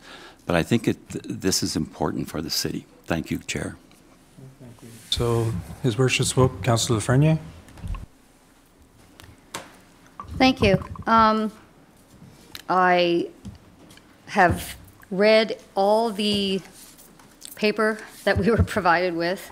Uh, some of it gave me some information that I thought was valuable, but very little of it uh, actually applied to us here in Pembroke. So, not too long ago, this council debated on whether to allow city residents to have a fire pit in their backyard. This fire pit would have been controlled by criteria like size of lot, access to water, inspections, etc. The council decided against it and cited health hazards of smoke and smell as some of the reasons. Now we are contemplating approving ATV use along the yards of our residents and through our waterfront area where we welcome thousands of visitors and residents in the spring, summer, and fall. ATVs can cause dust, they can throw up stones, and some older models are, are extremely loud. Just recently, some ATVs actually ran over some family pets in the Arnprior area, so they can be dangerous if they're not being used cautiously. Um, I guess one ran into a Tim Hortons in Petawawa. So what I'm looking at here, we've been presented by a stack of statistics on how much ATV owners spend on their vehicles, etc., and how much revenue is generated by the manufacturing sector in Ontario and retail, that type of thing. I wondered if anyone had gotten statistics from like the police departments or the health departments. So I did my own research today and I came up with some interesting statistics, which I welcome you all to look for. Uh, it's on Public Health Ontario. It's the epidemiology of all terrain vehicle and snowmobile related injuries in Ontario. And I won't bother you with the numbers, but it's staggering the difference between snowmobile injuries and ATV injuries. Um, the numbers are about triple for ATV, and the types of, I'll just read you this one uh, paragraph. Emergency, here it is here. A higher proportion of injured riders who were hospitalized were reported as drivers for ATVs. Uh, emergency room visits and hospitalizations were stratified by the location that the injury took place. More emergency room visits and hospitalizations were related to injuries sustained in non highway environments, so that's private property and recreational trails, compared to injuries sustained on the highway. So that disturbs me. Um, the number for snowmobiles was 2,800 and for ATVs, it was over 11,000. So that, that alarms me. Um, so I'm just, I'm, I'm comparing a fire pit in someone's backyard, which was set, that's bad for neighbors, and I'm looking at motorized vehicles traveling through neighborhood communities and our waterfront. So I kind of see a mismatch there when it comes to priorities for health in our community and safety. Now, I've had many conversations with the residents of the city who pay taxes to the city, and I've also, we've all seen the emails from some that live along the trail, and their voices are, are falling a little more quiet than the ATV clubs, the snowmobile clubs, and all the people who obviously are advocating on their behalf. The majority of the people I speak to, so obviously I travel in different circles than some people, they're preferring active transportation walking, cycling, e cycling. I mean, I've even talked to ATV owners, one that lives on my street, who said he didn't buy an ATV to travel through downtown Pembroke. He bought it to go out in the rural community. He said that this trail is actually quite boring, and he often takes it from, from uh, you know, uh, Trafalgar Road to Petawawa. He says it's boring, so he can't understand why ATVs would even be interested. Now, if you read one of the reports that we were given on how much they spend, if you break it down, it reported that 170, approximately $178 was spent per ATVer, but that's the entire county. So I don't know. I think we're selling ourselves a little short. I don't see a lot of revenue coming out of the ATVs when it comes to staying overnight. Because if you look, most of their trips are three hour trips, half day trips. Very few are multi day trips. The snowmobiles, however, no one can deny the business that they bring into the city. Now, I read the staff report, and one of the options I love for ATVs, I'm not saying ATVs don't come here, I'm just saying not downtown. I support item three in the Algonquin Trail question, the answers to our questions that we asked about optional trails. We can still bring ATVs in from Petawawa through the west. They would still come along that trail they always come on that old uh, trail that's there right now. They could come in behind Germania, cross Bennett, go through Pemmice 2. It's already been discussed with our recreation department, and they could still access Irving, Best Western. I just can't see them in the downtown. So that's my opinion. Um, winter is the best for when it comes to vehicular because people's windows are closed, the noise factor's less, there's less to do in the winter, so obviously we want to promote people getting outdoors. But I think that in the summer they have so much more to do, and I, for one, don't know too many people on an ATV that are going to jump off in downtown and in their go buy a dress or you know i don't see a lot of retail they may stop at a restaurant yes but i don't think it's worth the disruption to the lifestyle of the residents along the trail or to the people that already use our beautiful waterfront so that's that's a long-winded way of saying i am in favor of snowmobiles using any trail system they want in the winter but i would rather look at that alternate trail for ATVs because of the dust, the noise, and that I'm not going to belabor it. That's my opinion. I respect everyone else around here. I just don't want to see that. Oh, one more thing I didn't like was the fact that the county would look at a cost sharing option to pave that portion of the trail in our downtown when they own the land. So that kind of disturbed me that, you know, they, they would do it, but only if we paid a cost sharing. Anyway, I'm done with that. Thank you for your time. Anyone else wish to speak? Councilor Plummer?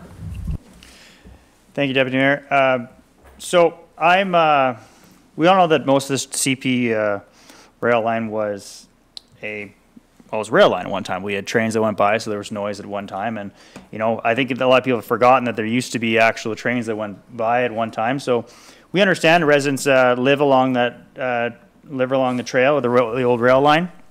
So there was impact at one time um, in noise.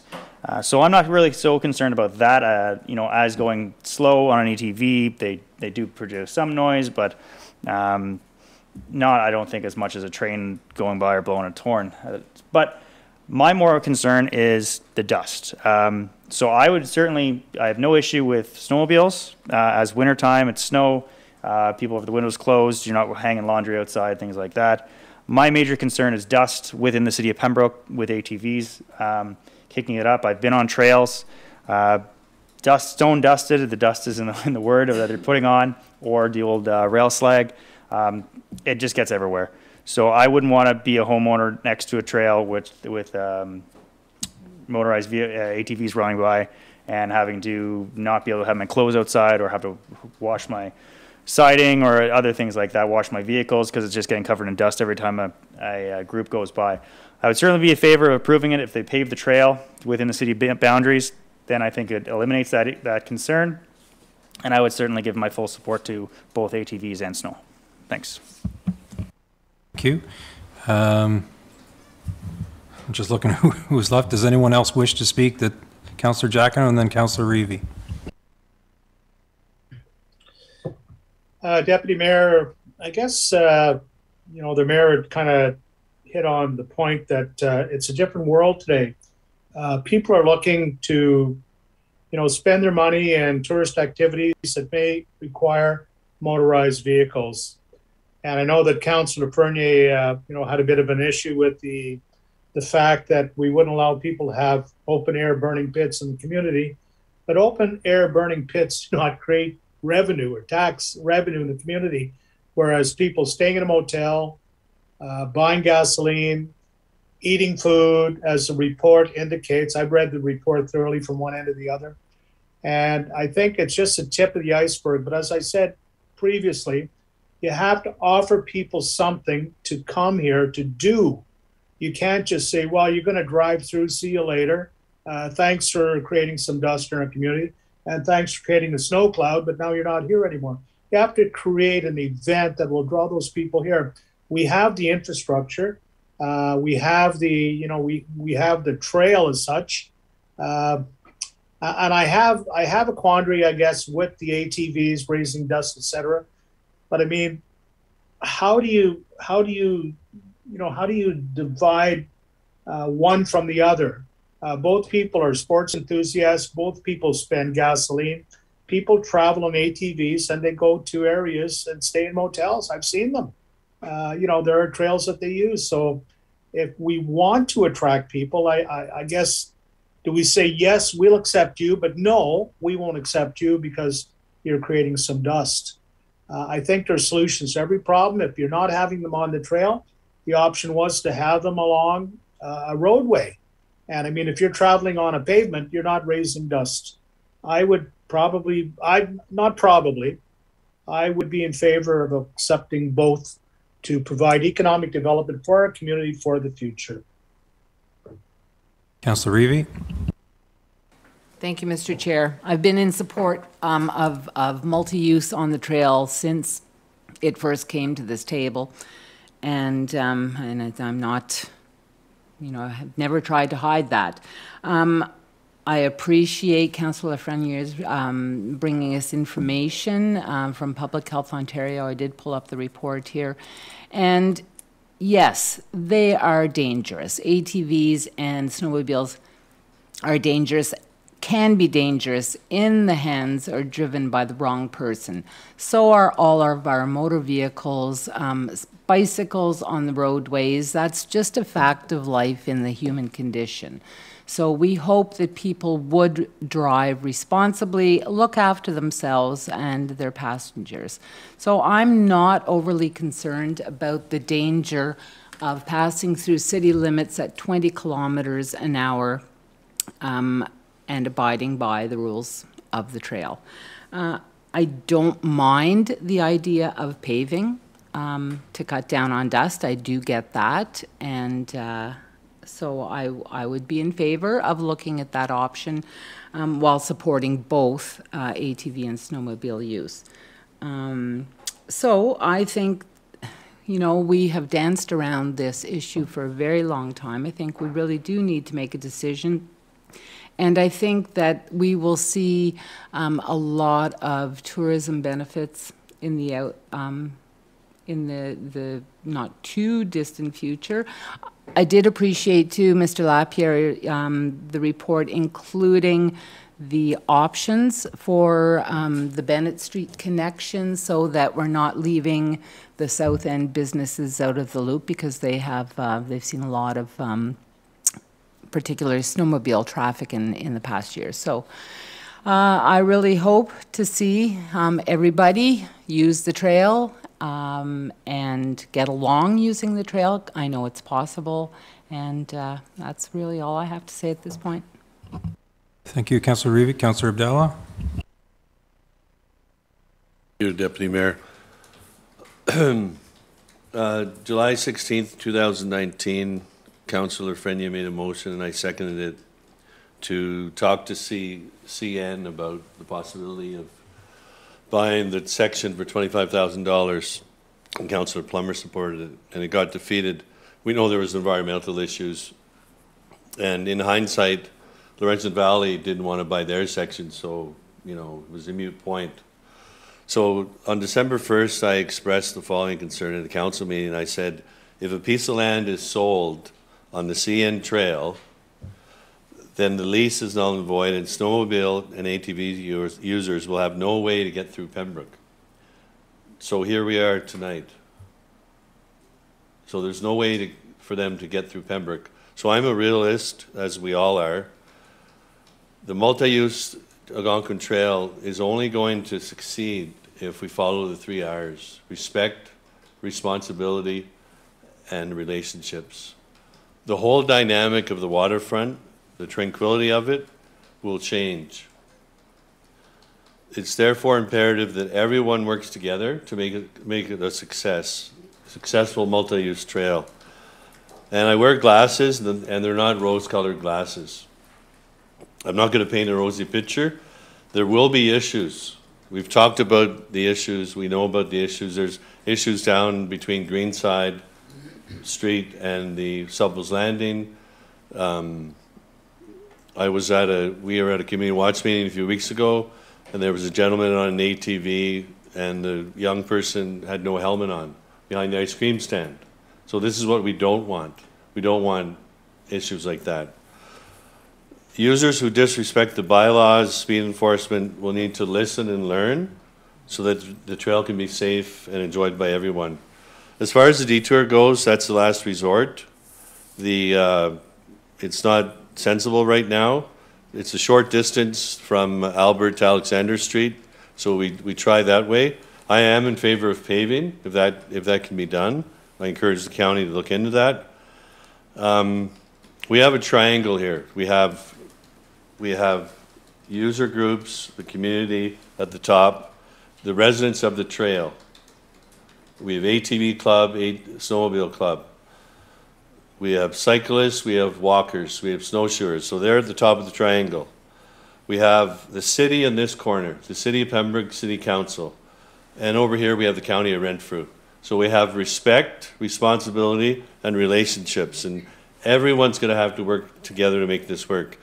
I've spoken to, as we all have, the, the president of the ATV club, the president of the snowmobile club. Mr. Lapierre and I have met numerous times. He's assured me that it's going to work. It has to work.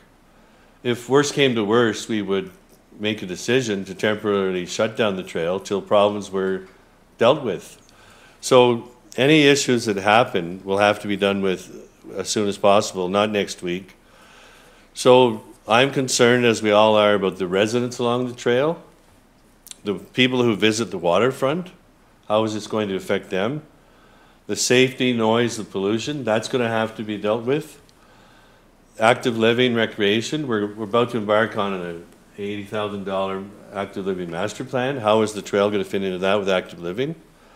Economic development, I've met with the PBA yesterday. They're, they're interested in, in attracting the ATVs, maybe possibly parking at the end of Victoria Street or at the farmer's market when it's not in use. Snowmobiles could park there in the wintertime. It's a visible site. You get less, less chance of theft. It'll give them access to the east end of downtown. And I understand from your report, Mr. Lapierre, that the old wall, across from the old Wally Shoes location, if some of us remember Wally Shoes, at the entrance to Algonquin, they'll be parking there also. So tourism, economic development, economic, environmental impact, the fact is they have no way through, so we have to work together to make this happen. I, I've publicly spoken that I prefer the other route, but that's, that's, that's not, a, that's not a feasible, it's, it's not gonna happen, it's closed now. So we need to make this a positive benefit for everyone and uh, a healthy benefit, and it has to work. And the county of Renfrew has assured us that they will work with us to make it work. The, the bad apples, as Mayor Bob Sweet said when he spoke to us a few weeks ago, they, they ruin it for people. So that is going to have to be dealt with. And I don't want to get into details because staff is going to come back with a report for the ATV bylaw and the snowmobile bylaw. We don't want them on Frank, uh, Fred Blackstein Boulevard or the green space, the Kiwanis Walkway, but that will all be dealt with. And it's a, it's an education, it's a, it's a learning process. Um, but I, I do support the motorized traffic because the CN is not available. And I'm, I'm as concerned as you are, Councillor Frenier, about the residents. And uh, I spoke to a resident today and I told the resident I will work, I will do my part to make sure that this works and represent them. And we all have to do our part. And so I, I will be supporting the uh, motion put forward by Mayor Lemay. Thank you. Thank you, Councillor Abdallah. So then from the chair, because by my count, everyone has now spoken once, I, I want to thank uh, Mr. Lapierre, Mr. Lewis, and all of staff for putting forward uh, another detailed report on this issue concerning the Algonquin Trail, uh, which includes, as you know, many different attachments, uh, very much addressing uh, the different inquiries that uh, were to be posed uh, following the last time, I think it was combined committee in August, uh, um, was uh, to present to Mr. uh, Mr. Lapierre to comment on. Uh, Certainly, as with everyone else, uh, you know, I've had an opportunity to review all the different materials, looked at the notes from the three or four times that this came before council.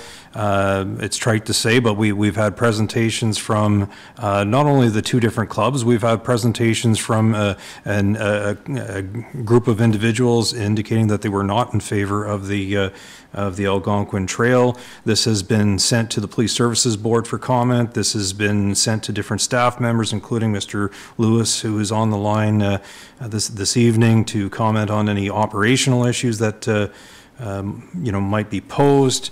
And certainly, we need to move forward, and we, we need to uh, make a decision, as was indicated before the combined committee.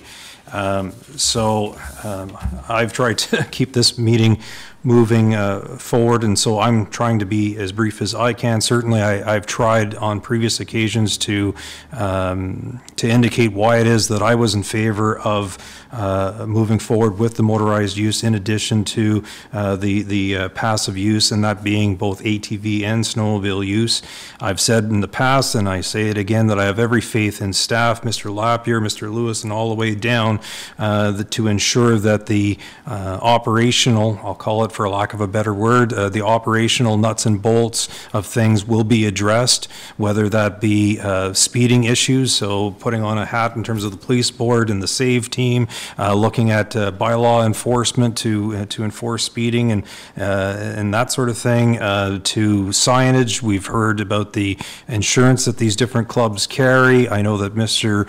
Lapierre has in his report, at some point in this report, commenting about having the city of Pembroke as a named insured. So I have every faith that the city of Pembroke, um, should this uh, motion pass, that the city of Pembroke's staff will address each and every different items. And it, it may be, uh, you know, on the issue of dust, it may be that certain mitigation efforts will not uh, suffice, uh, whether that be foliage. And so certainly Councillor Abdallah and myself uh, uh, sit on that waterfront development um, uh, committee with uh, Fred Blockstein as the lead, and certainly he's more than abundantly aware in terms of having appropriate foliage, as I understand it, to not only deflect sound, but to deflect dust. But if that doesn't cut it, I have no doubt that uh, in talking to Mr. Lewis about uh, issues like uh, using calcium chloride and other materials to keep dust down, and if that doesn't do it, then looking at other measures, whether it's tar and chip or paving or what have you. But I, I think as, as a council, we deal with the policy issue as to whether or not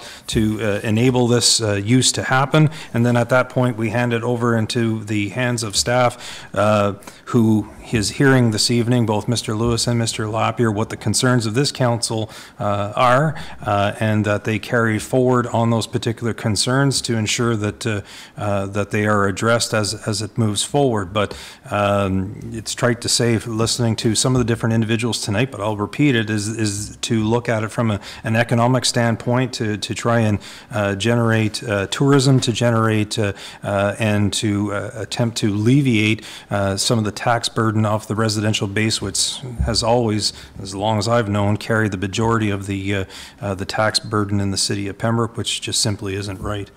Um, so that's my, my particular uh, uh, comments on the subject. And so now, in terms of reply, one more time for anyone that wishes to speak, uh, and then we'll call the question, and I would be asking for Mr. Lapierre on such a serious matter to uh, have a recorded vote.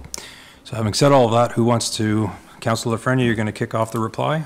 I certainly will. It will be a little more brief than my opening one. However, I mean, the economic benefits are to be debated and are to be proven later, um, not when it comes to snowmobiles, but the ATVs, I'm still not sold on they spending that kind of money on staying overnight when it's summertime. However, um, the only way I would even consider ATVs was if I thought that that portion, as it's in the report from staff, was paved from College Way to the, this side of the beer store. Um, But as you can see in the report, the county would be willing to receive a request on cost sharing for paving a portion of the trail in Pembroke, although it may be doubtful that would actually be approved by county council. So if we were going to pave it, it would probably be at the dime of the city taxpayers, which bothers me. Because this is something the county has been trying to push through, whether we agree with it or not. We were kind of pushed up against the fence on this again, even though it's been in front of us for a while. They, you know, they're at our border now knocking on our door. So they want it, they want it bad. So I would suggest that part of this motion is that we approve it, you know, in principle, and I would be willing to support it in principle, based on the county paving that portion from College Way to the beer, just west of the beer store. At- you know, that takes the waterfront aspect out of the rocks flying or whatever, dust. It also takes away a little bit of that other area, but I won't be supporting the motion unless we can get something in it that clearly states that the county would be responsible for paving. Because let's face it, we're still going to have to pay for the maintenance, for the policing, for work uh, around the intersections of it, of the actual trail. Um, anyway, that, that's, that's all I want to say, is I, I, I won't support it unless we have some kind of condition that the county pays for the pavement, pavement. Thank you. Thank you. Uh, Councillor Plummer, Councillor Reavie. Yeah, I'm still not uh, convinced that both, uh, that ATVs is a great idea. Even snowmobiles is a great idea, throwing, going through a downtown with uh, liability issues and whatnot. I just don't think that um, there may be some leeway with uh, snowmobiles during the winter just because it is the, the season. And they do tend to cross highways and they've maybe have some experience doing that. Uh, but no, I'm just, uh, I just don't see the economic benefit. I see, unfortunately, I'm with uh, Councilor Lefreni on this. I see it more as a drive-through, uh, basically continuing. Pembroke's just going to be a pass-through on their way on the trail. Uh, I do understand the focus of the trail uh, to connect everything, and we're kind of the one last piece in the long puzzle. But it's a really unfortunate that um, oh, hindsight's 2020. Back in the day when we first were elected as council here, when the CN came knocking and they were looking to dispose a bunch of land. Might have been the proper thing to pick all that up at that time, but you never know. Anyways, I won't be supporting it. Thank you. Councillor Reavie. Thank you, Mr. Chair. Just um, a reminder that the uh, the town of Almonte was vehemently opposed to having multi-use going through the Algonquin Trail. They call it different there, um, and flash forward a few years and they love it. They have seen huge economic benefit, yes, in the summer with the ATV people, and they would not go back to to um, the way they were thinking beforehand. Um, the other thing is, and this is just so recent, and and I had to give it a little bit of a ha-ha, but when we were at the town hall meeting at the waterfront on October 6th, a beautiful evening, um, committee was seated beside the, uh, by the, beside the amphitheater. And as the presentation was taking place on stage with not a really great microphone system, um, Jody could be heard, but, but quietly, I watched as an ATV side by side putted down the trail and nobody turned to look even um, the person sitting beside me who has been very opposed to multi-use uh, on the trail didn't even notice. So I just sort of thought, I'm going to just tuck that in my pocket for later use. So it told me that the distance of that Algonquin Trail from the amphitheater where there will be, you know, amplified performances, this was just a speaker on a microphone, it would not disturb what's going on. So that was something that made me happy, and it was proof to me. Oh, Councillor Jacyno? Geez, I should have been there. You keep missing me. uh, Deputy Mayor, I kind of have, uh, I agree with Councillor Plummer in a way that people will just pass through. But you know what? If they just pass through, that's not their fault. That's our fault. We haven't done anything to capture their attention to come here. And I said that previously. I had met with a downtown business person some time ago who was complaining that there was no traffic in the downtown. So I went to meet with the individual and I said, You're going to have a group of people, 600 runners, running down the main street of Pembroke right past your door. What have you done to entice them to come into your store. Well, they're not going to come in there was the answer because they were in the run. But after the run, They're there with their families. They're looking to buy an ice cream. They're looking to have lunch. So if you know if that type of attitude exists, of course nothing is going to happen. If you don't look at what's in front of you, you're not going to benefit.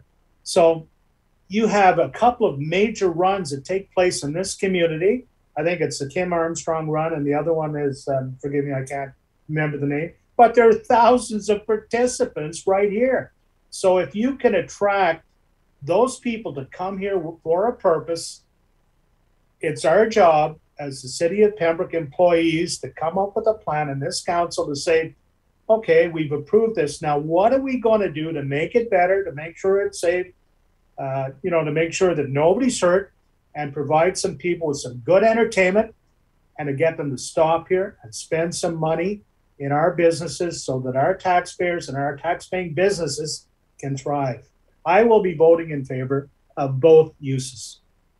Okay, thank you. So I have left for reply, uh, second go around is Councillor Abdallah and his worship. Do either of you wish to speak? No, thank you. So his worship doesn't wish to speak. Councillor Abdallah. Thank you, Deputy Mayor. So, like I said before, uh, the CN section is sold, and this is the only way through Pembroke. Now, uh, the Waterfront Development Committee that the Deputy Mayor referred to, that we sit on, we're developing a plan. Mr. Blackstein came here a few weeks ago for an arboretum, and it's going to have room for three large exhibition tents for destination events. It's going to open up people's imagination. There's going to be destination events there for ATVers to come, tourists. That's just one spot. Riverside Park, we had a drive-in concert that was very successful, 320 cars put on by the Rec- Parks and Rec Department. We met last night, the the Parks and Rec Advisory Committee. We have some ideas for another festival uh, next summer at the same location, hopefully with a midway, some children's events. So that's a destination event. We know that the ATV clubs can access Riverside Park. They have festivals, they have one-day events, they have campouts. So these are things that will happen. I already mentioned the potential of the farmers market parking there for snowmobiles also, and over, they're gonna be parking near the college. So it's the only way through town. So realistically, where are they gonna go? So east, west, I've read all the reports. We do know that they can still access the uh, hotels, the Best Western, the Holiday Inn, and the Big Stop. Parks and Recreation are work, working with them on an alternate route through Germania Club behind Pemites too. That's important. That was another concern. But it's um, imperative that we approve this and move forward. And the destination events are being planned, they'll be there. The waterfront's a destination place, Riverside Park. So that's why I'm going to support it. Just had a question for Mr. Lapierre, though, that I meant to ask earlier. We'd been discussing this. Um, Calls for service. Can you explain the procedure if you work with Mr. Davis at the county and Mr. Kelly? If calls for service got out of hand, how would you act on that? Certainly. I'm, I've been clearly advised by Mr. Davis and, uh, and uh, Craig, his director, that if there's any individuals that have problems related to the trail or what's happening on the trail, they can call them directly and they will deal with it. And they also know that those individuals may call a member of council or myself, and we'll make sure that the county is dealing with it. But they have in the past, and I have reported, that there have been minor issues related to the, to the trail, and they have dealt with those, those issues. So if calls or if concerns became a major issue, of course, that's why part of the uh, staff report states that staff of the county and the city would be meeting at least twice a year or more often as required to deal with issues that require attention, but also to deal with opportunities that uh, may arise that could be of benefit to us. So that's how those things uh, would be dealt with. I understand Councillor Frenia has a question, and after that, I would ask Mr. Lapierre to do his, uh, his call in terms of the recorded vote. So my question is to Mr. Lapierre. But I want him to clarify something in the report for Councillor Abdallah and anyone else who thought there was not another alternate trail. There is an alternate option, am I correct, Mr. Lapierre? And that is to use the existing route that comes in now from the west along that trail. But then when it comes over the Trust Boundary Road, it goes over to behind the Germania Club. Then it crosses Bennett, goes behind PMC, and goes out the same way that they're doing now. So there is an alternate route. And can you clarify that for me, Mr. Lapierre? Yes, certainly. As the report states, there has been discussions with the Snowmobile Club, and the ATV Club would fall into this, that there is a proposed route that, uh, that is amenable to city staff as well as a snowmobile club. That would provide uh, access to the, to the businesses that uh, are in the south of Pembroke. Primarily, we're talking about the uh, Big Stop, Best Western, Holiday Inn. However, as I recall in the report, it states that without the Algonquin Trail, there would be zero access to the east end businesses in Pembroke. So that would be a concern. So yes, there is in that particular route, that addresses the CN line to get, uh, to get to those properties in the south end, but the Algonquin Trail still required uh, with respect to the east end. Exactly, but it would be status quo then. If we adopted that alternate, it would be the businesses that have been benefiting would continue to. That's correct. Okay, thank you.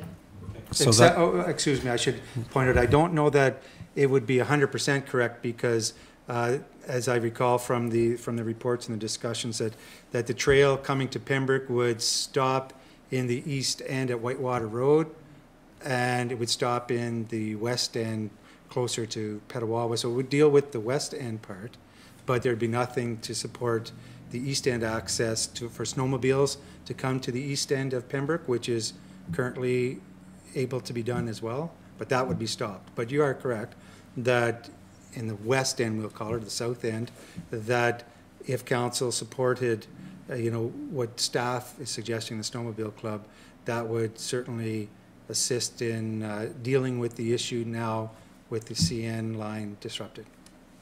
Thank you. And uh, so I've been very clear at the beginning as chair as to the process, attempting to follow the procedural bylaw, which we often don't always do. So at this point, Mr. Lapierre, if you would uh, uh, do the uh, recorded vote, and then that will address this particular matter. Thank you, Mr. Chair, and I will defer to the clerk in the room to take the recorded vote. Ms. Martin? Councillor Abdallah, Yay. Councillor Jacyno, Yes. Councillor Lafreniere, Nay, Councillor Plummer, Nay. Councillor Reavie, Yes. Mayor Lemay, Yay. Deputy Mayor Gervais. Yay. So we have uh, five people in favor and two against, so the motion carries. Thank you, and no disrespect, Ms. uh, Heidi, trying to get used to the different positions. Um, Having said that, as I understand it, Mr. Lapierre, and I've already switched uh, uh, items on my iPad, do I understand correctly that you were looking for some direction once we got past that particular item? Yes, if it's acceptable to committee, staff will prepare the required uh, amendments to the ATV and snowmobile bylaws for consideration at your November 2nd meeting. Thank you, and I'd entertain a motion to adjourn. Counselor Reavie, Counselor Plummer, we are adjourned.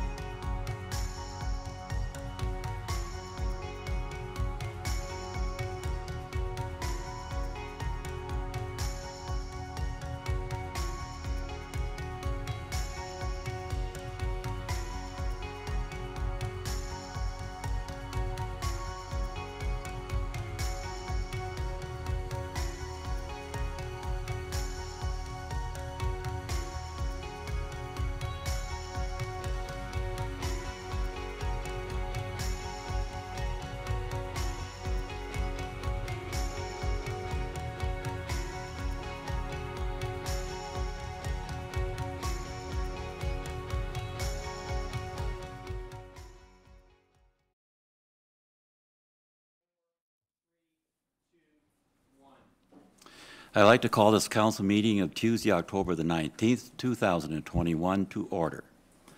Before opening this meeting of council, I'd ask those who wish, each in your own way, silently join in a prayer of guidance over these proceedings. Our Father, who art in heaven, hallowed be thy name, thy kingdom come, thy will be done on earth as it is in heaven. Give us this day our daily bread, and forgive us our trespasses, as we forgive those who trespass against us. And lead us not into temptation, but deliver us from evil.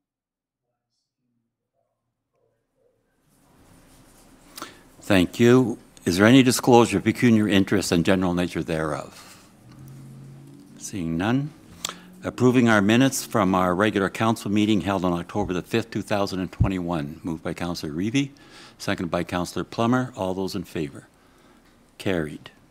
Adopting the minutes from our Operations Committee meeting held on September the 21st, 2021. Moved by Councillor Plummer, seconded by Councillor Jacyno. All those in favor? Carried. Receiving the minutes from the Pembroke Heritage Murals Committee of October the 6th, 2021. Moved by Councillor Abdallah, seconded by Councillor Reavie. All those in favor? Carried. Proclamation. By virtue of the power vested in me, I hereby declare Thursday, October the 21st, 2021, as the 20th Annual Child Care Worker and Early Childhood Educator Appreciation Day in the City of Pembroke. Whereas years of research confirm the benefits of high-quality childcare for young children's intellectual, emotional, social, and physical development and later life outcomes, and whereas childcare promotes the well-being of children and responds to the needs of parents, families, and the broader community by supporting quality of life so that citizens can fully participate in and contribute to the economic and social life of their community. And whereas trained and knowledgeable early childhood educators and childcare staff are the key to quality in early learning and childcare programs and champions for children, I, Michael LeMay, Mayor of the City of Pembroke, do hereby proclaim Thursday, October the 21st, 2021, Child Care Worker and Early Childhood Educator, Educator Appreciation Day in the City of Pembroke.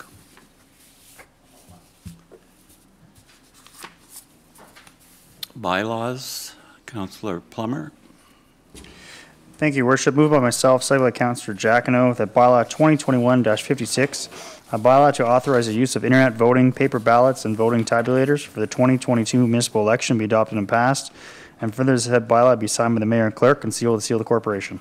Are there any comments? Okay. Seeing none, all those in favor? Okay. Carried. Uh, Resolution 2021-028, Councillor Lafreniere. Moved by myself, seconded by Councillor Andrew Plummer. Whereas routine eye care is critical in early detection of eye diseases and the health of eyes is critical to overall health and quality of life.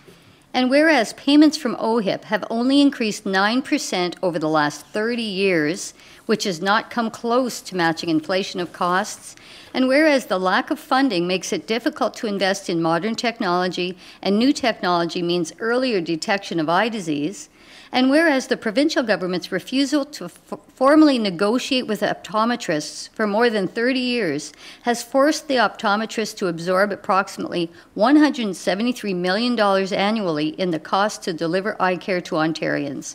And whereas the 2021 Ontario budget did not address OHIP insured eye care, Ontario optometrists took action and voted to withdraw OHIP services starting September 1st, 2021 unless the government agrees to legally binding negotiations to fund these services at least to the cost of delivery. And whereas this job action will jeopardize good eye care for those who need the care of an optometrist the most and will have the greatest impact on the most vulnerable groups, therefore, be it resolved that the Council of the City of Pembroke requests that the provincial government recognize the value that access to quality eye care brings to all Ontarians and act now to protect it. And further, that the provincial government address the OHIP insured eye care immediately and enter into legally binding negotiations with Ontario optometrists to fund these services at least to the cost of delivery. And further, that a copy of this resolution be forwarded to Premier Ford, Ontario Minister of Health Christine Elliott, MPP John Yakabuski, the Ontario Association of Optometrists, and to the Association of Municipalities of Ontario, AMO. Any comments? I do have a comment. I have a granddaughter who's probably going to need glasses, and she cannot get into an optometrist. And that's a sad state of affairs when our government will not protect them. And we all know that there's lots of serious illnesses that can be detected through a proper eye exam. So I think in this day and age, when health, and especially with COVID, health is so important in lifestyle and well-being, uh, mental health as well.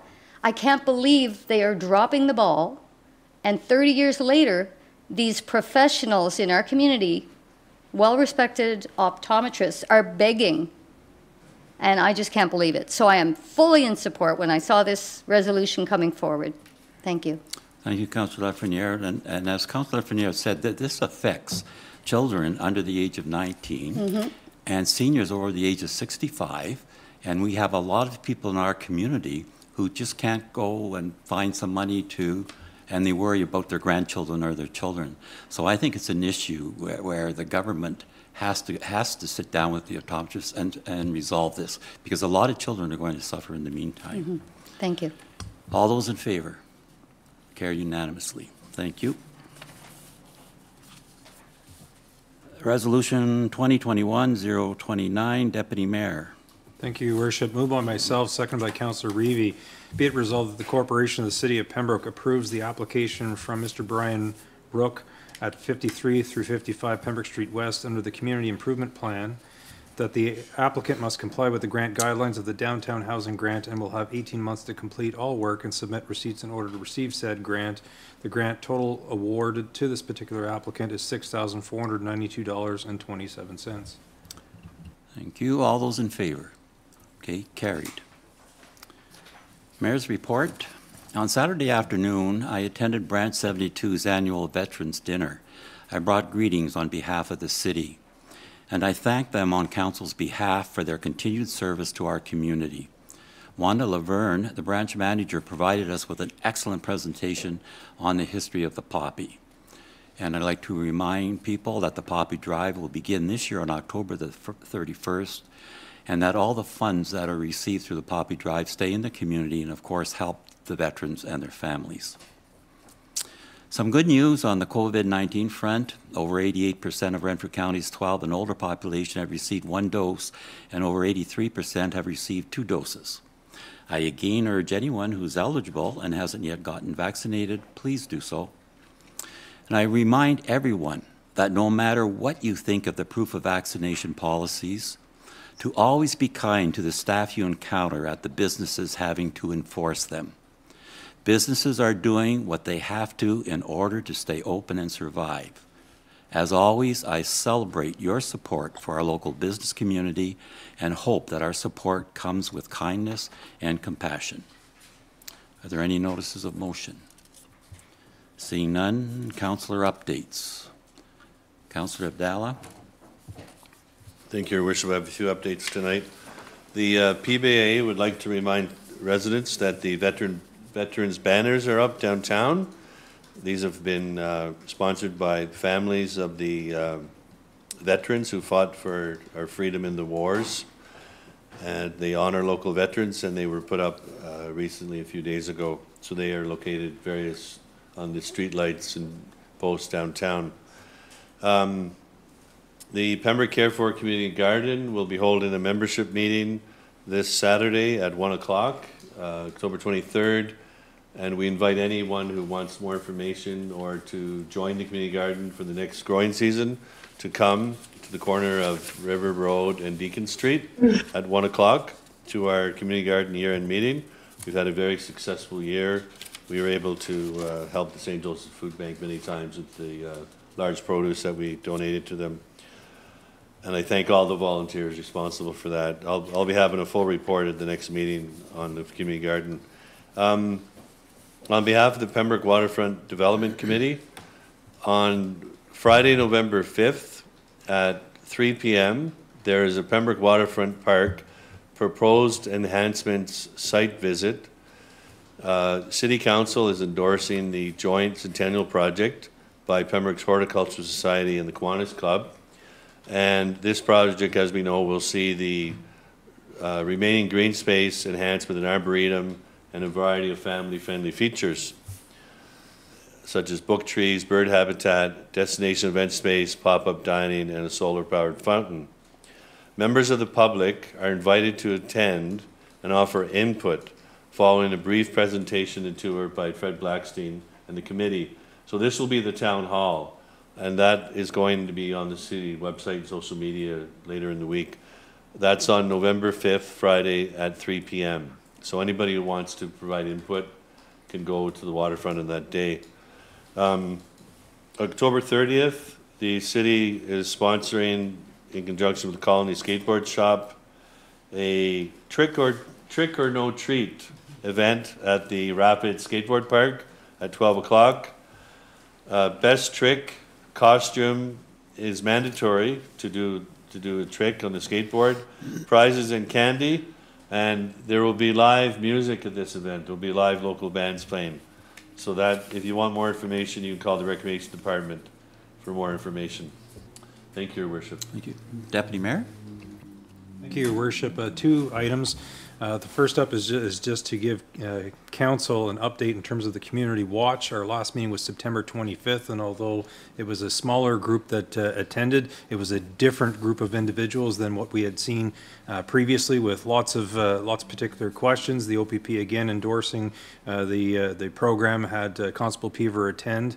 Um, so it was a very interesting meeting. Certainly, uh, we're, you know, leaps and bounds ahead. We now have uh, badges made for individuals to be able to go door to door, literature, and so they're going to be doing that between now and the next meeting, which is at the Pembroke Fire Hall on November 15th at 7. And certainly, if anyone wishes to uh, attend, uh, if they could contact either Councillor Abdallah or myself in advance. But certainly, that program is moving ahead, and so there will be uh, individuals approaching uh, individuals in their own neighborhoods uh, to uh, educate them on what the neighborhood watch is and what it isn't, and to uh, get individuals interested and get that program up and running. Um, The next item that I just wanted to bring council uh, attention to was the spooky movie night that was held at the Skylight uh, Drive-In on October 16th. I just wanted to let council know that uh, um, it was very well attended. Uh, Great cooperation between our city and the Township of Laurentian Valley. A shout out to Laurentian Valley's Nevada Sergeant and our Sarah Friedmark uh, for, uh, sorry, Frederick, Sarah, Sarah Frederick for doing an excellent uh, job on, on uh, certainly advertising that particular event and the turnout that, that happened at that event. Lots of individuals that seemed to like Halloween almost more than Christmas, uh, certainly uh, really dressing up, and so it became very hard to uh, do the judging and to uh, to pick the uh, the winners for the different categories. But we. We did our thing, and uh, uh, but everyone there that uh, that did take part certainly are are a winner in terms of uh, their interest in that particular event and dressing up, whether it be as Cindy Lou Who or you name it, uh, they were dressed. Thank you. Thank you very much, Deputy Mayor. Any other comments? Councillor Reavie? Thank you, Your Worship. Just a short one. Last Thursday, I was um, happy to represent Mayor and Council at a small ribbon cutting ceremony at the new Renfrew County District Health Unit on Lake Street. Um, it was actually a welcome to downtown uh, from the PBIA. So everybody was uh, very happy, and I can say that um, the staff at our CDHU are thrilled to be in downtown Pembroke and to have all the opportunities that they didn't have up um, at the county building previously. So we'll, we'll see some action in downtown, I'm sure, with all these women uh, going for lunch and dress shopping, Councillor Lafreniere. So it was nice. Excellent. Any other comments? Seeing none, we'll be moving closed session. Councillor Abdallah. Thank you, Your Worship. Motion for council to move into a caucus meeting. Motion by myself, seconded by Councillor Christine Reavie, that this meeting become a closed meeting to discuss a position, plan, procedure, criteria, or instruction to be applied to any negotiations carried on or to be carried on by or on behalf of the municipality, and a proposed or pending acquisition or disposition of land by the municipality or local board. Thank you. All those in favor? Okay, we'll now move into a closed session. Thank you.